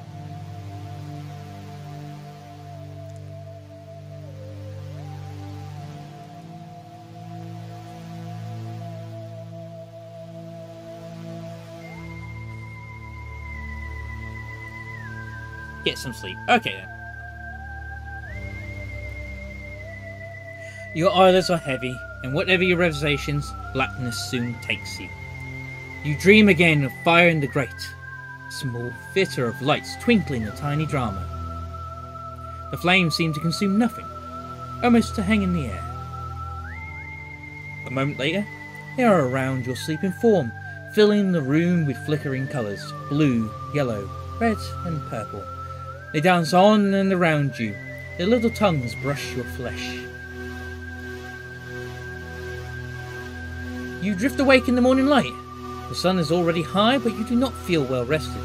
You find yourself preoccupied with little details of the room. The wood grain of the door jab, uh, or a chipped handle on the wardrobe.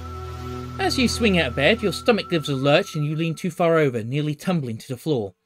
You blink for a moment. Perhaps you have an illness coming on. You get carefully to your feet, and the air in the room is heavy and fragrant. You stare out the window until you feel steady enough to leave.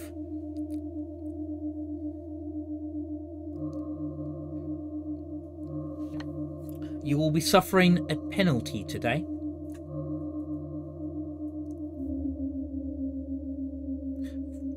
Doesn't apply to luck, sanity, or damage, but everything else. Is this a wet drink I opened time?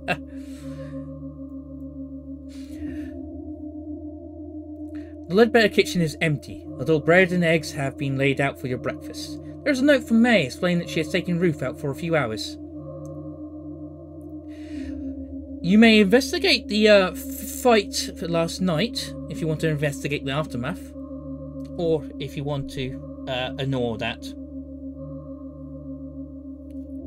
Would you like to investigate the uh, aftermath of the fight or not?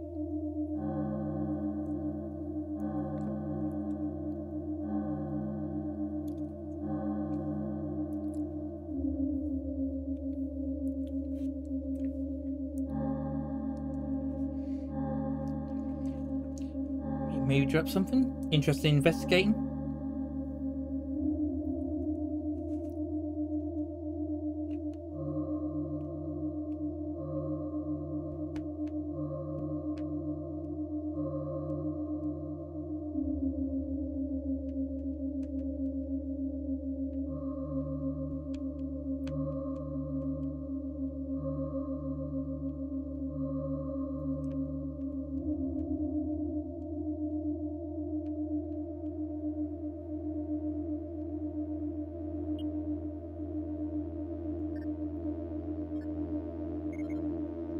Was it investigate it or not?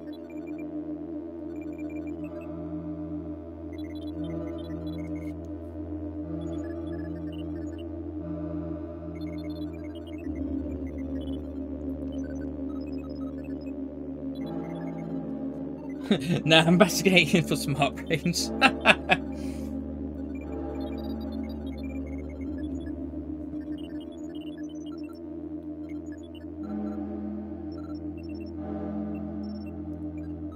what is brain?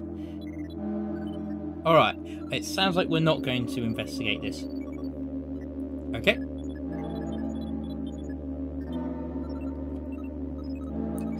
You make a quiet circuit of the village, pausing in unproduced places to watch the villagers. It is rather busy for this time in the morning. Yawning locals stream back and forward along the roads, carrying bundles of split logs to the site of what you've heard referred to as the beacon. You see two figures already up in the superstructure arranged in the wood. The Vestal bonfire will be most impressive. But do you tend to stay to see it? Expect by now that something is amiss here. No shit, you saw a guy murdered. While the villagers are distracted, you may do some illicit investigation, or you may simply leave town without looking back. You could search May Ledbetter's bedroom, go alone to the village hall, take a closer look at the artisan's courtyard, spy on activity at the beacon, or slip down to the east road and flee. Not murdered, just taking the surprise nap.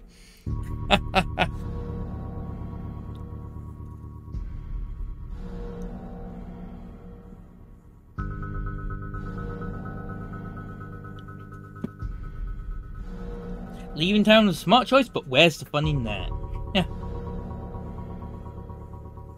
Carrie's adventurous. That he is.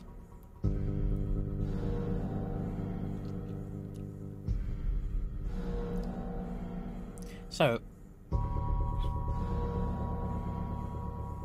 I don't think it's a good idea to flee. The now sleeping man said not to leave.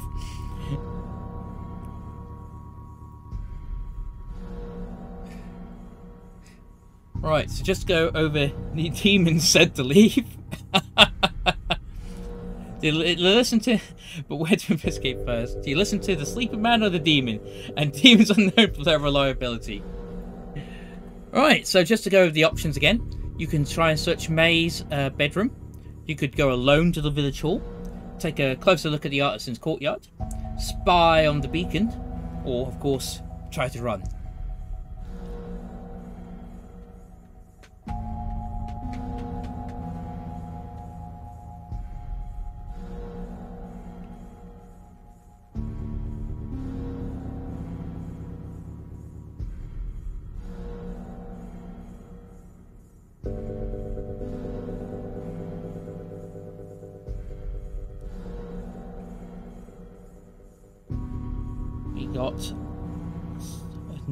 For Village Hall.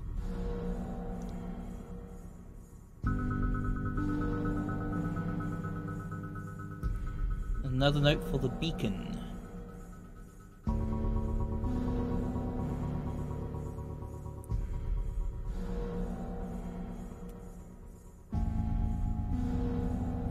So you're leaning towards either village hall or the beacon at the moment.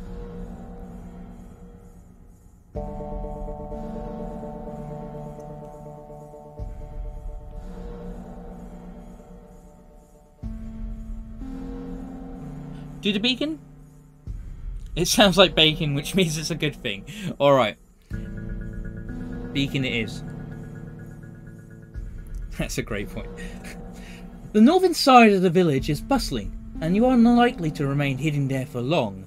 You head in the direction of the church and then move up to the east side, behind the houses. A drop looms on your right. One particular section of ground is quite narrow and you have to hug the buildings for support. You could try to give up to it. However, let's have a look see. Uh, size is your dex higher than your size? It is.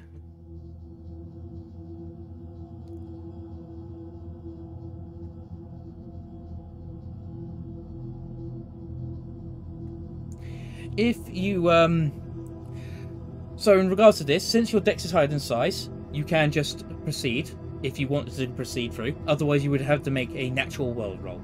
So, would you like to proceed? I'm assuming, given the part uh, the ninja uh, comments and such, you would like to proceed.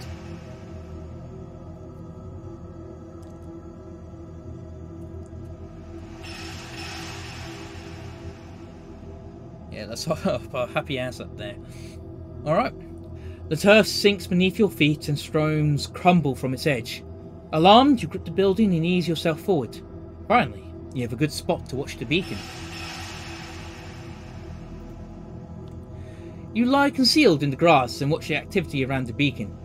Villagers bring in yet more bundles of tinder and stack them in neat bundles. Another shift passes the bundles up to a pair of men standing on the raised platform of the beacon. They're constructing a triangular structure resembling a gigantic campfire. As you watch, you are struck by the manner of the labourers. This is their festival. You would expect a cheerful atmosphere and some light-hearted conversation, Yet the faces of some show resignation and detachment, others a naked dread. You watch for a good half hour before you slip away. You feel a deepening unease about Emberhead and this day in particular.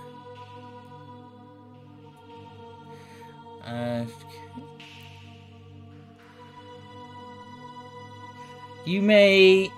Um, so we have the previous options again you may do two more options of these. You may search May's bedroom, go alone to the village hall, look closer at the artisan's courtyard, or try to flee down the East Road.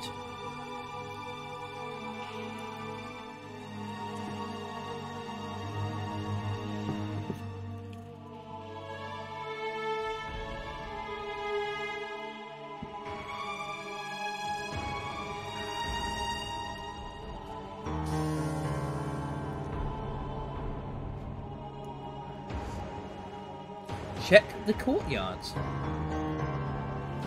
You approach around the back of the buildings in Emberhead's northwestern corner.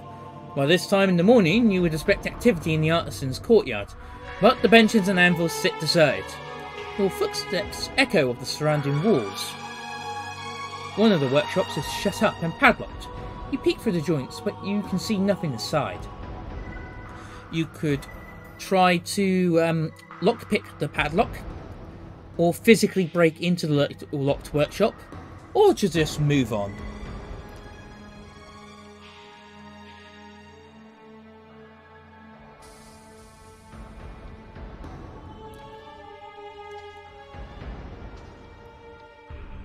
Locksmith is decent. Yes? So you would like to go for that?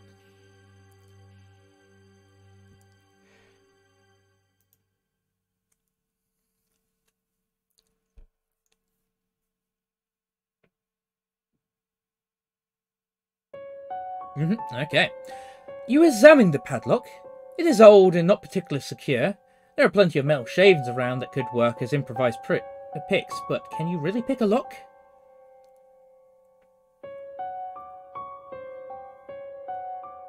Okay, just a second.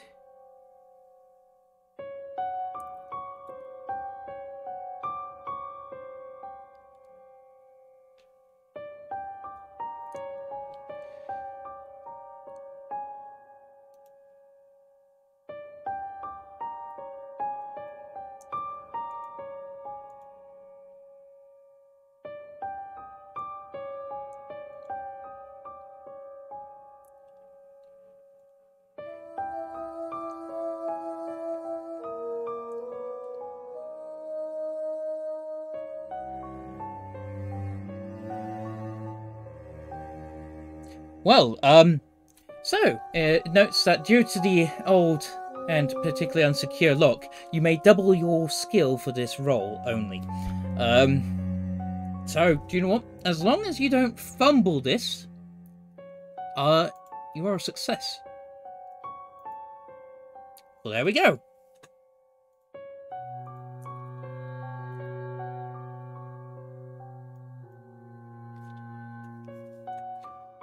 You push aside the door and step inside the workshop. The air is cool against your face and you see a light glinting through the eaves. The centre of the room features a raised slab with a slight slope. An indentation beneath it suggests something sits there. A basin, perhaps? Prone shapes are racked again, uh, against the far wall, covered with red cloth. They look human. You can investigate further, or if you think you've seen enough, you can move on.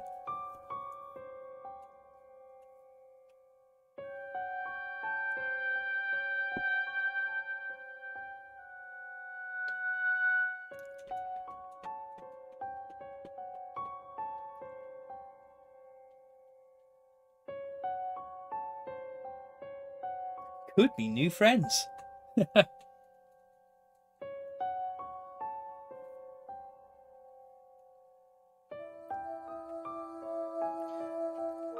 yes, we got fit our way in just to leave straight away.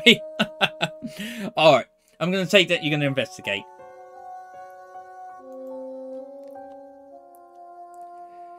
You approach the red shrouded figure, suspecting them at any moment to leap up and grab at you. There are three. Each has a label hanging from its toes. Benjamin Kramer, Kramer uh, 1 slash 19 slash 1927. Abraham Holmesworth, 4 slash 22 slash 1927.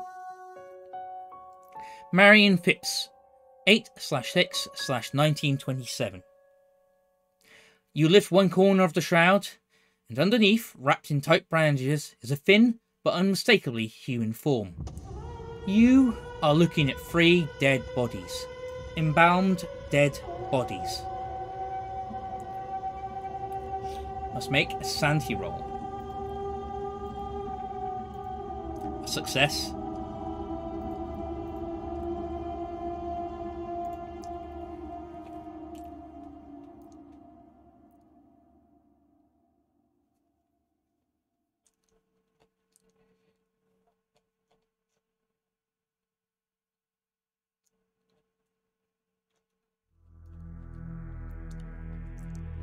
Music kicked in perfectly. Excellent. So, I thought you looked like a snoop. Like what you found, did you? A burly villager fills the doorway, blocking out much of the daylight. You can make out a dark apron and a thick beard. He steps forward, fists raised. Carrie is so sane, says one of the voices in his head. I would like to help you with your bodies. You may either surrender without a fight, or fight the arson.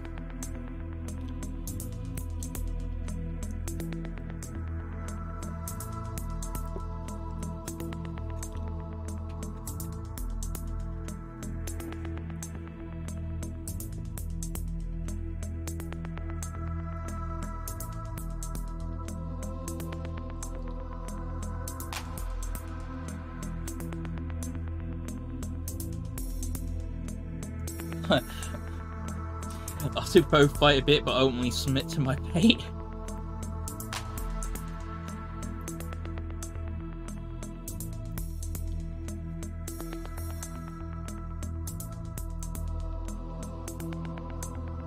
Screw this dude, we're fighting?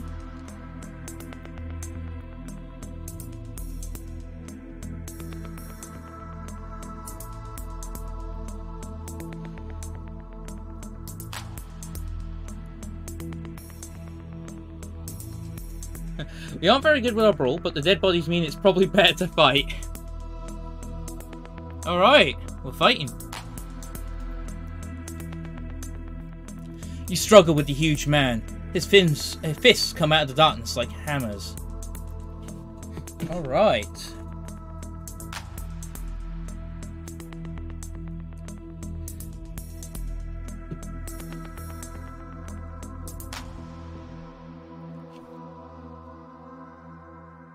Give me a second.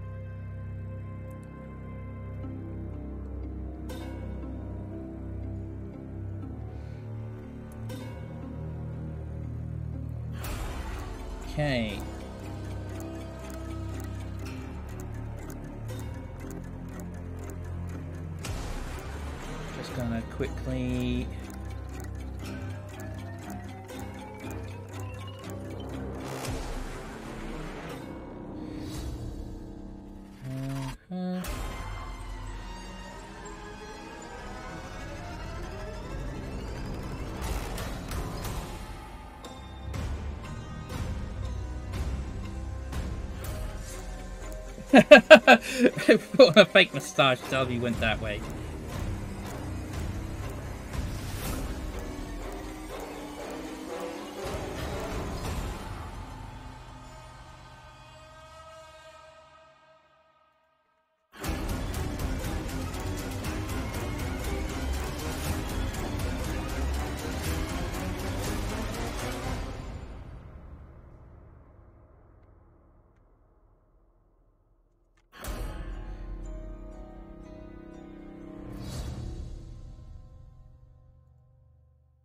Just take a moment to just we'll just make this a little simpler for us.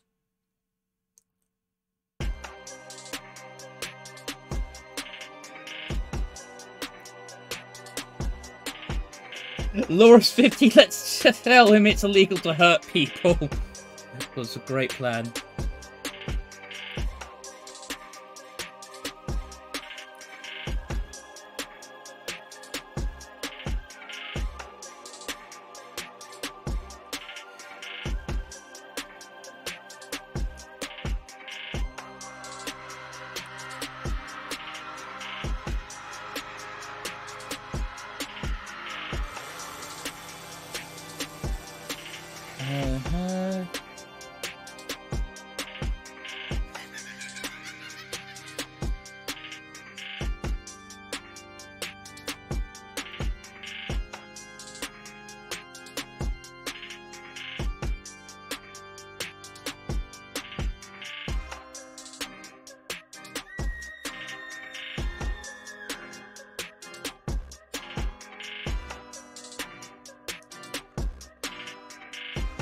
Yes, the man who collects bodies would definitely let us go if we threaten him with the law.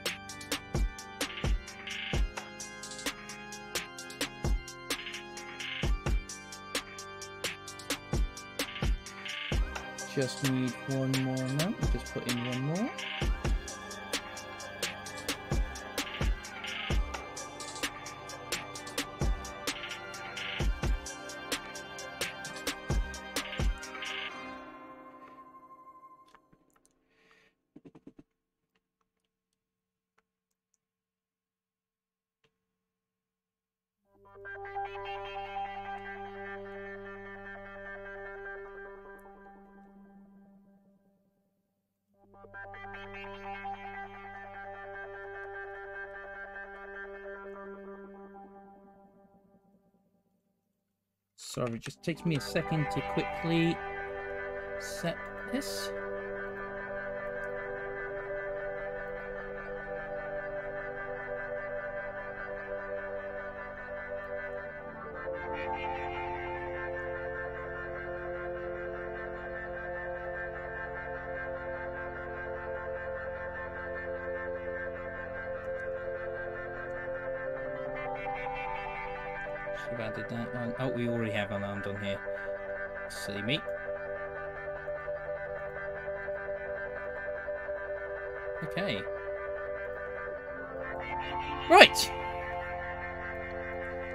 In combat, the one with the highest dexterity goes first.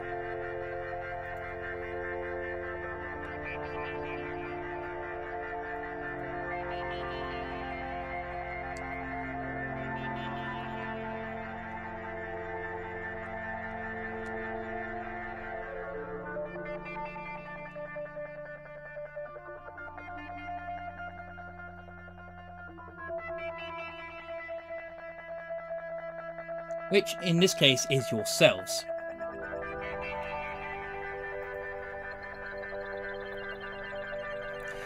Right, so, first round of combat.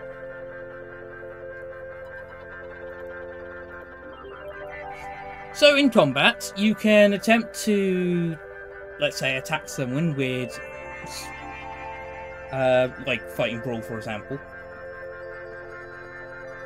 Or you could also try to do things like um, maneuvers. Maneuvers are generally anytime you want to do something different, uh, be it as simple as grappling people or or tripping them over or things like that.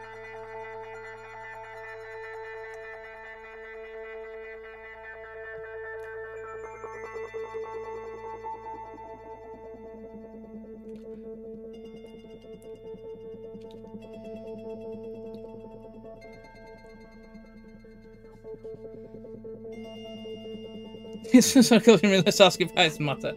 That's not.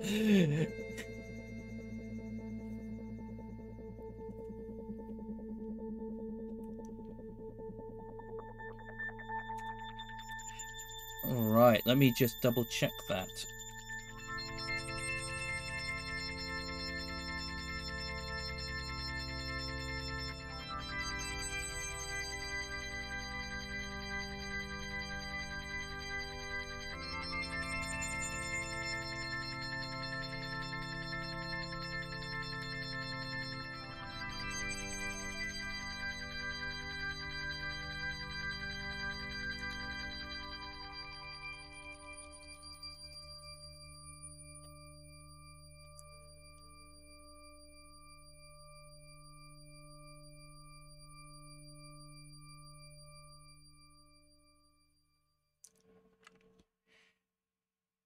Oh, so do you have a? Do you know what? That's a very good point.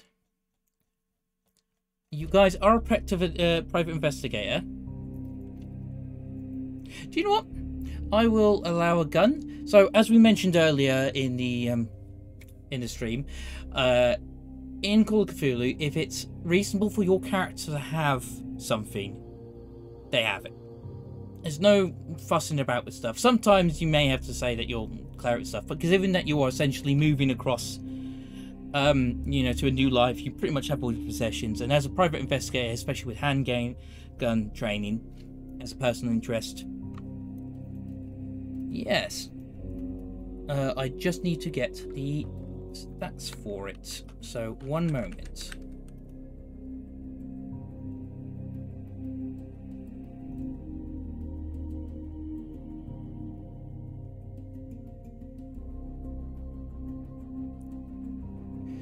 Okay.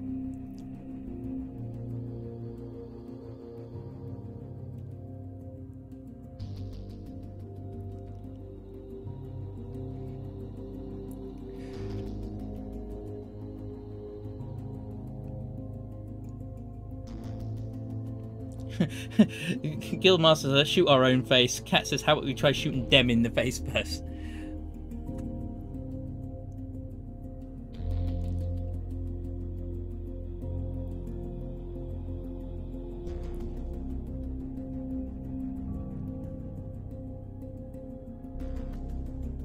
Alright, but that doesn't work. It's plan B. Plan B is shoot yourself in the face, apparently. Okay, I think a revolver is very thematic for this, hey? So we're just going to go into combat. Add one in. Note. Point 32 oh revolver. Oh I did it on melee didn't I? My bad. Just a second. Delete that. Add it in range. Point 32 revolver Uses firearms handgun. Range is 15 yards. Damage is 1d8. Uh-huh. Don't. Yes, set it impale.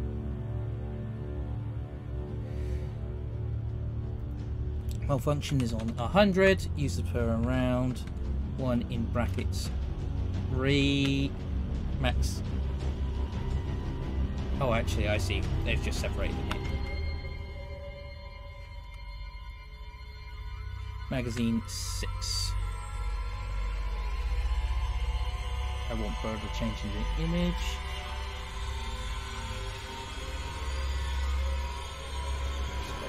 Okay. Handgun is in place. How about a...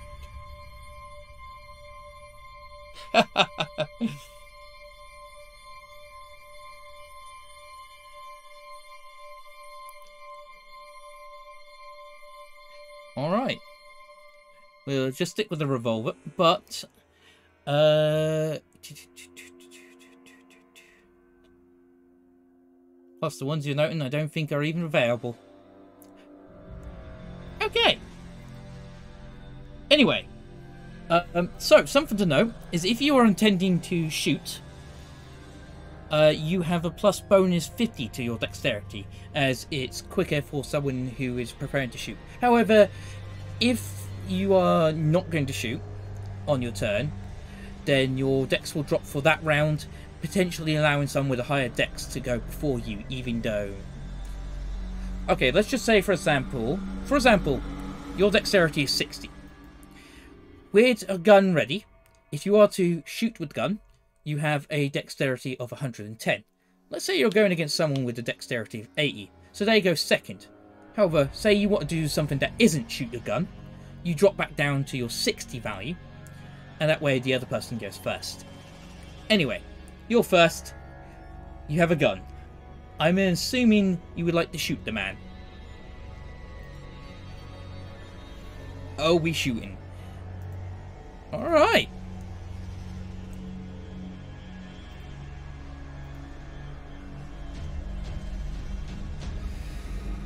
Okay.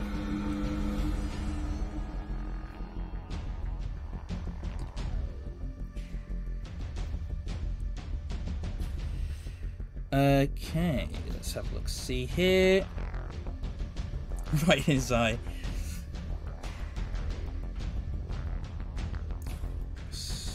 So there is a rule for firing multiple shots.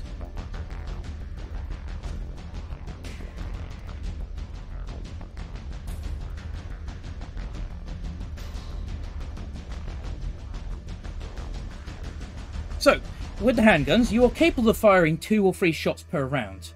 One shot is a more careful aim and steadying of the weapon, while firing more than one shot places speed above accuracy. When firing two or three shots in one round, roll for each shot individually. When each with but all shots would have a penalty. So would you like a penalty on all those shots? Or just one without?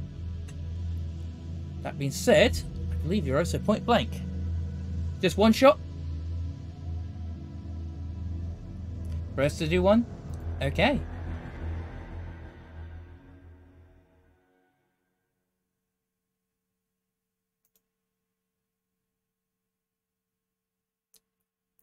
Uh, that is a failure. I believe I did that kind of wrong, but whatever.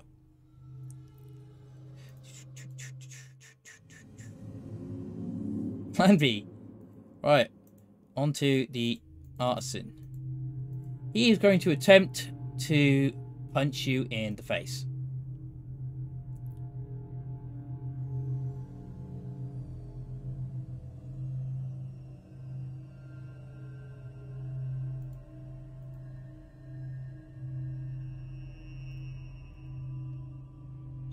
Just a second. These NPCs, cheats are something. Ah, here we go. Alright. He rode a failure. So you can either try to dodge or fight back or do nothing.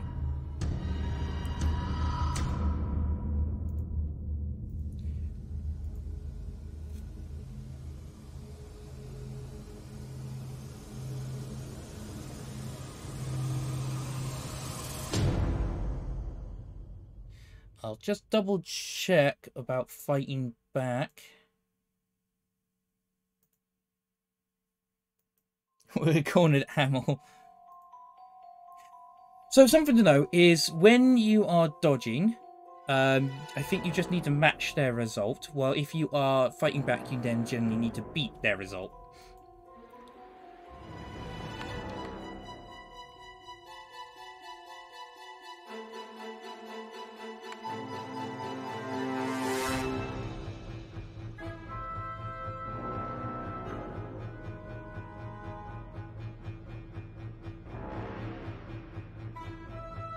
Okay. Fighting back.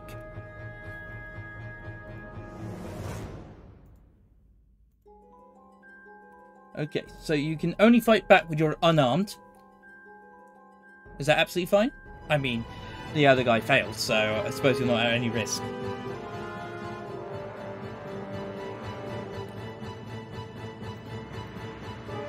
Knee him in the chin. Both sides failed. Fantastic. You dodge his blow, and uh, yeah, try to knee him back, uh, but fail. Your turn again.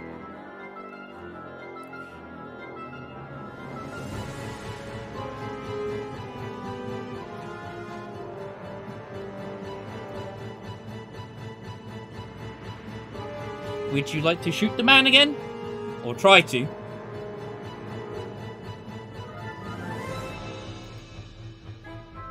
We shoot ourselves in the face like planned.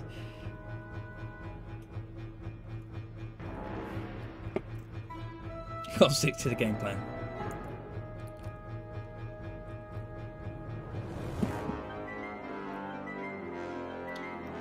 Let's shoot ourselves, miss and hit them. Alright, I'm gonna roll for a shoot.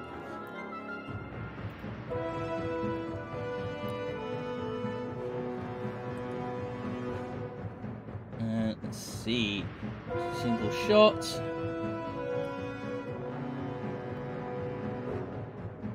Uh, another failure.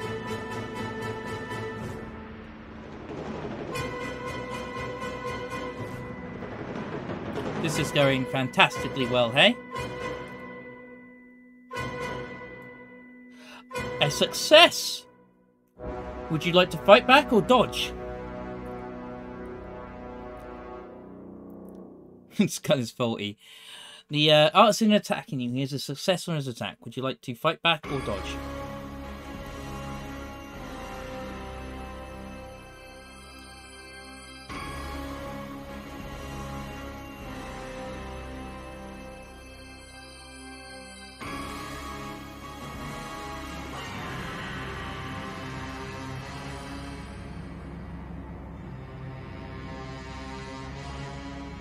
Obscene fight back, so Guess we'll do that. And a failure. Oof. So he sees seven damage.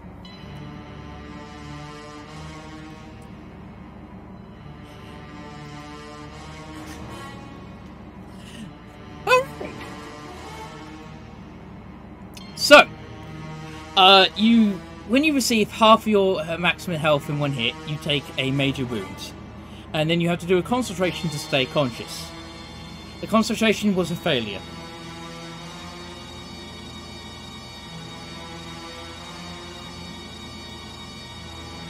Oh, good. Yes. What? Well done, guys.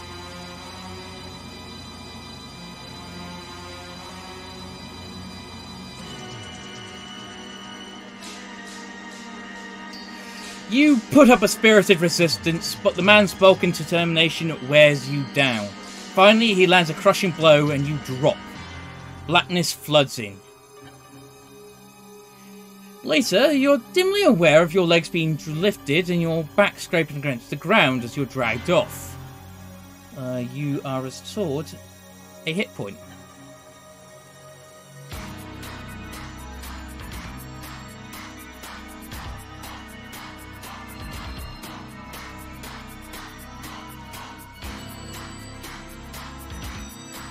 Fading light from a narrow window tells you afternoon is giving way to evening. Your hands are shackled behind your back so you cannot even lay down on the rough bed. A woman you have not seen before comes in. Her face is wrinkled and her eyes dull. They do not meet yours, but she puts a cup to your lips. Would you like to accept the drink or reject it? Now, this was your secret plan all along? To put up a fight, but fuck it? Magnificently fuck it as that.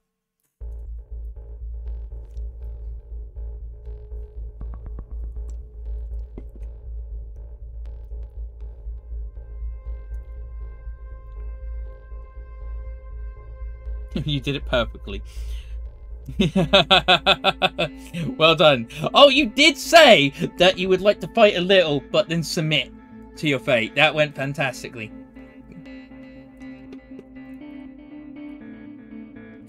Well, anyway, so would you like to accept the drink or reject it?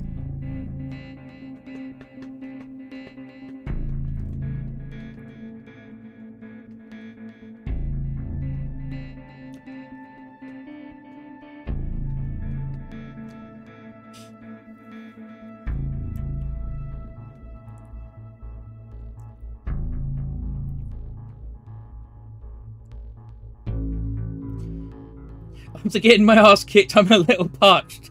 I mean, free drink. Alright, you guys. Um, yeah. I accept the drink. You drink from the cup. It holds cool, refreshing water which you gulp down. When it's empty, she turns to leave. You speak to her, but she steps outside and closes the door. Yay, later, you try yelling. Your voice must be audible outside, but it has no effect. It seems the entire village is involved. As the light fades outside, your little prison becomes dark. You can hear much activity around the building. Occasionally, an orange glow passes the window. The only comfortable position in the shackles seem to be to sit against the end of the bed with your arms hanging behind you. You need to concentrate and come up with a plan. There's clearly an escape from your bonds. You do not know exactly what your captors want from you, but you cannot ignore the fact that you spent the entire day constructing a massive bonfire.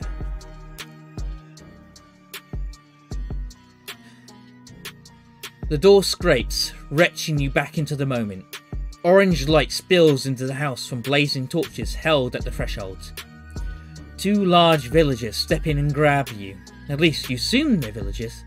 They wear heavy black cloaks, and their faces and hands are painted entirely black, save only for a red triangle centered on their left eye. You try to drag your legs, but they reach under your arms and lift your, you boldly, bodily from the bed. Outside, it seems the whole village has gone created to see you. Every single one has a blackened face with a red triangle motif. Torches sputter and spill fire. You struggle, but you can see physical resistance is hopeless. You are marched to the central suite and turn to face the beacon. The procession down the approach is slow and formal, save when you sense weakness and yank at your captors. A chill touches you when you see three human shapes carried ahead of you draped in red cloth. Be the beacon looms larger and larger, its dreadful silhouette a black triangle pointing to the stars. A low drone balloons among the cloaked figures. Unbidden, the word mourners comes to mind. Smoke from their torches makes you cough. You feel heat on your face. As you reach the cleared area around the beacon, three dancers break from the pack. Young girls swinging balls of fire in spectacular arcs, drawing circles in the night air. One by one, they draw close to you and touch your forehead with sooty fingers. Each kisses you three times on the left cheek, right cheek, then the forehead. Then they whisper in your ear. The smell of kerosene fills your nostrils. You must make an appearance check.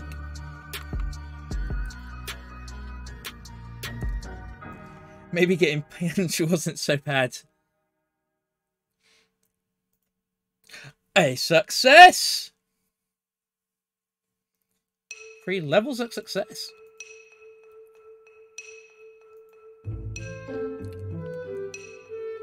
we look great.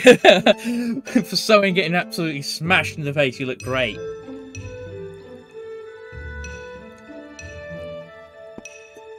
Through your sacrifice, the village will be reborn, says the first dancer. You pass from earth to air for all our sakes, says the second. I've weakened the chains, says the third. Don't try to escape until the flames are high enough to hide you, you stare at the third dancer. In that inky visage, you clearly discern the frightened features of Ruth Ledbetter. Their dance weaves off and disappears behind the buildings. As you arrive beneath the beacon, ten villagers close in on you. Working with surprising coordination, they immobilize you and lift you up to the blackened iron stairs to the raised platform. You cannot help but shiver at the sight of the central framework, twisted from past blazes and what you can now clearly see to be fastening points for chain. None of the eyes meet yours as they lash you to the metal. The village sings now, something rhythmic and ancient, carved from odd syllables. A second group ascends to the beacon, carrying the three red draped bodies. With reverence, they arrange their burdens in a triangle around your feet. Then they withdraw, leaving you alone with the dead, shin deep in the sea of kindling. It seems the entire village has gathered around the beacon to watch you burn. Behind the face paint, you recognise May Ledbetter. And yes, that is Silas, the coach driver, standing at her side. The audacity and scale deception staggers you. A man steps up on. This music really isn't fitting, is it? I'm sorry, it really distracted me. Okay, this will do. what a very, very rude bus driver. The audacity scale of deception staggers you. A man steps up on the desk and raises his hands with quiet authority. The frame of the spectacles obscures the red triangle in his face. yeah, but I knew what to say because about as rude as it gets. So we draw here together again on this night, as we do each year, and we give thanks to the ones who will preserve the village against the fire of the void. You will be taken by the ones from above in our stead. Your death will bring life to our streets and bounty to our fields. It will safeguard our children and our elders alike for another year. We salute you. He bows his head. All around the beacon, bearers step forward and lift their torches to the edge of the raised platform. A ring of tiny flames flicker up around the perimeter. As they wink, the singing of villagers drop into an unearthly rhythm. You can try to throw all your remaining strength against the bonds, or wait and see what happens.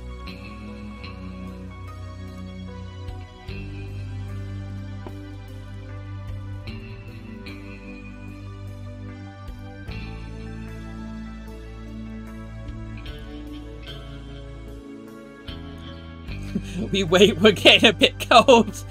I was feeling a little chilly.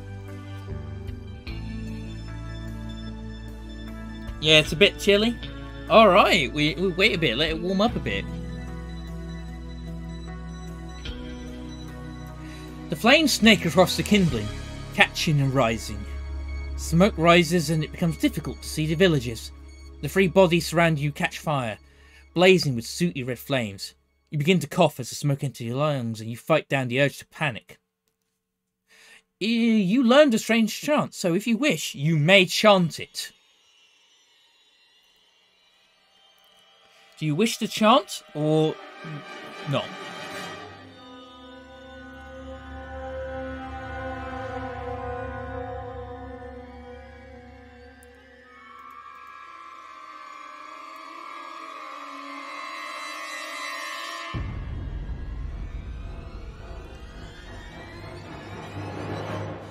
Uh, I will note if you're interested in chanting, this is your chance now, as in there is no other chance.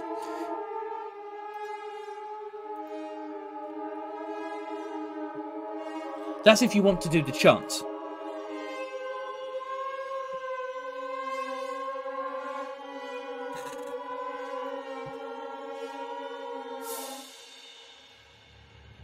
Singing time? Singing time it is. Or have a stroke, still can't figure it out. The flames draw closer to as you bring Arbogast's chant to mind. It's hard to clear your head as the heat grows beneath your feet. You cough and sputter, but you sustain the words. Finally, you reach the key passage, and even as your clothes catch fire, you yell for the third time.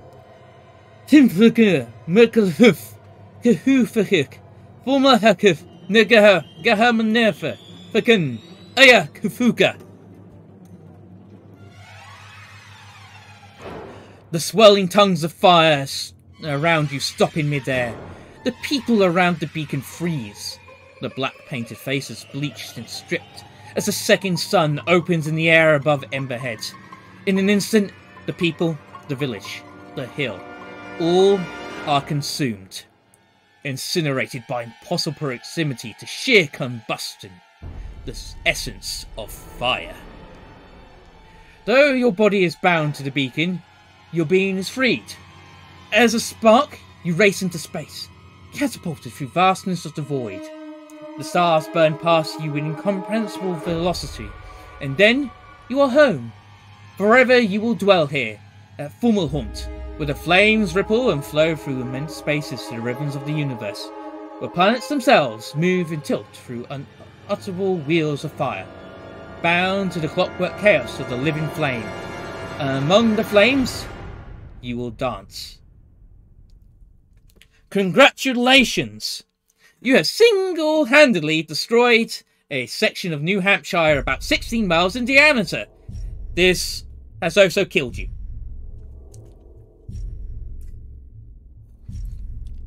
And that was Alone Against the Flames.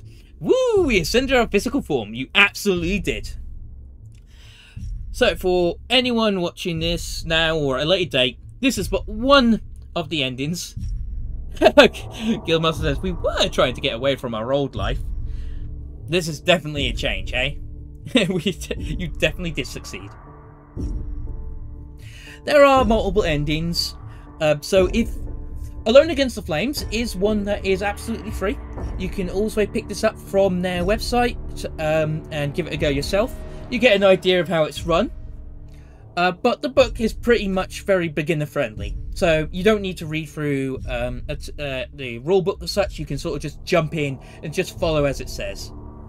A lot of it might be a bit confusing, so you may want to check on some of the skills. But as I said, you can also play again, and as with all these adventure books, once you've played it once or twice, you can always, you know, just keep a finger on the page, if you will remember a few numbers, go back to it like a checkpoint, and just experience it all. Uh, I think that will be it for tonight. If if you enjoyed this, uh, let me know. Uh, let me know if you would like to see maybe this one again, or some of the others, like Alone Against the Frost. Uh, I know they got four in total. Frost is one that's doable. There's some that had some extra uh, longer time. Yes, Guildmaster absolutely right. We've played, uh, we've done some longer games before, and this one is definitely a good taste of um, what a full game is almost like. Obviously, in a full game, there's a lot more freedom, although in the same sense, this one helps guide you in the right direction with the choices. That being said, a keeper can also have other ways of events or hints to help direct people in the right direction if needed. On that note, if you're still interested in seeing maybe some Call of Cthulhu, one thing we could do, uh, I could look into sometime is maybe also running um, like a module of Call of Cthulhu online, not one of the solo adventures. Whether that would be like a specific players on stream go running through it, or trying to do it with Twitch in some way, work out. But yeah, please let me know. But I hope you enjoyed uh, the uh, Call of Cthulhu Alone Against the Flames. Let's see if there's anyone else online. If there's anyone else online. Nope, no one that I know. Right, in that case, we'll just end it for tonight. But uh, I hope you enjoyed it, and I have to say that was one of the most fantastic endings you guys achieved. Um, I hope to see you next time, and uh, Have a good day, everyone. Bye.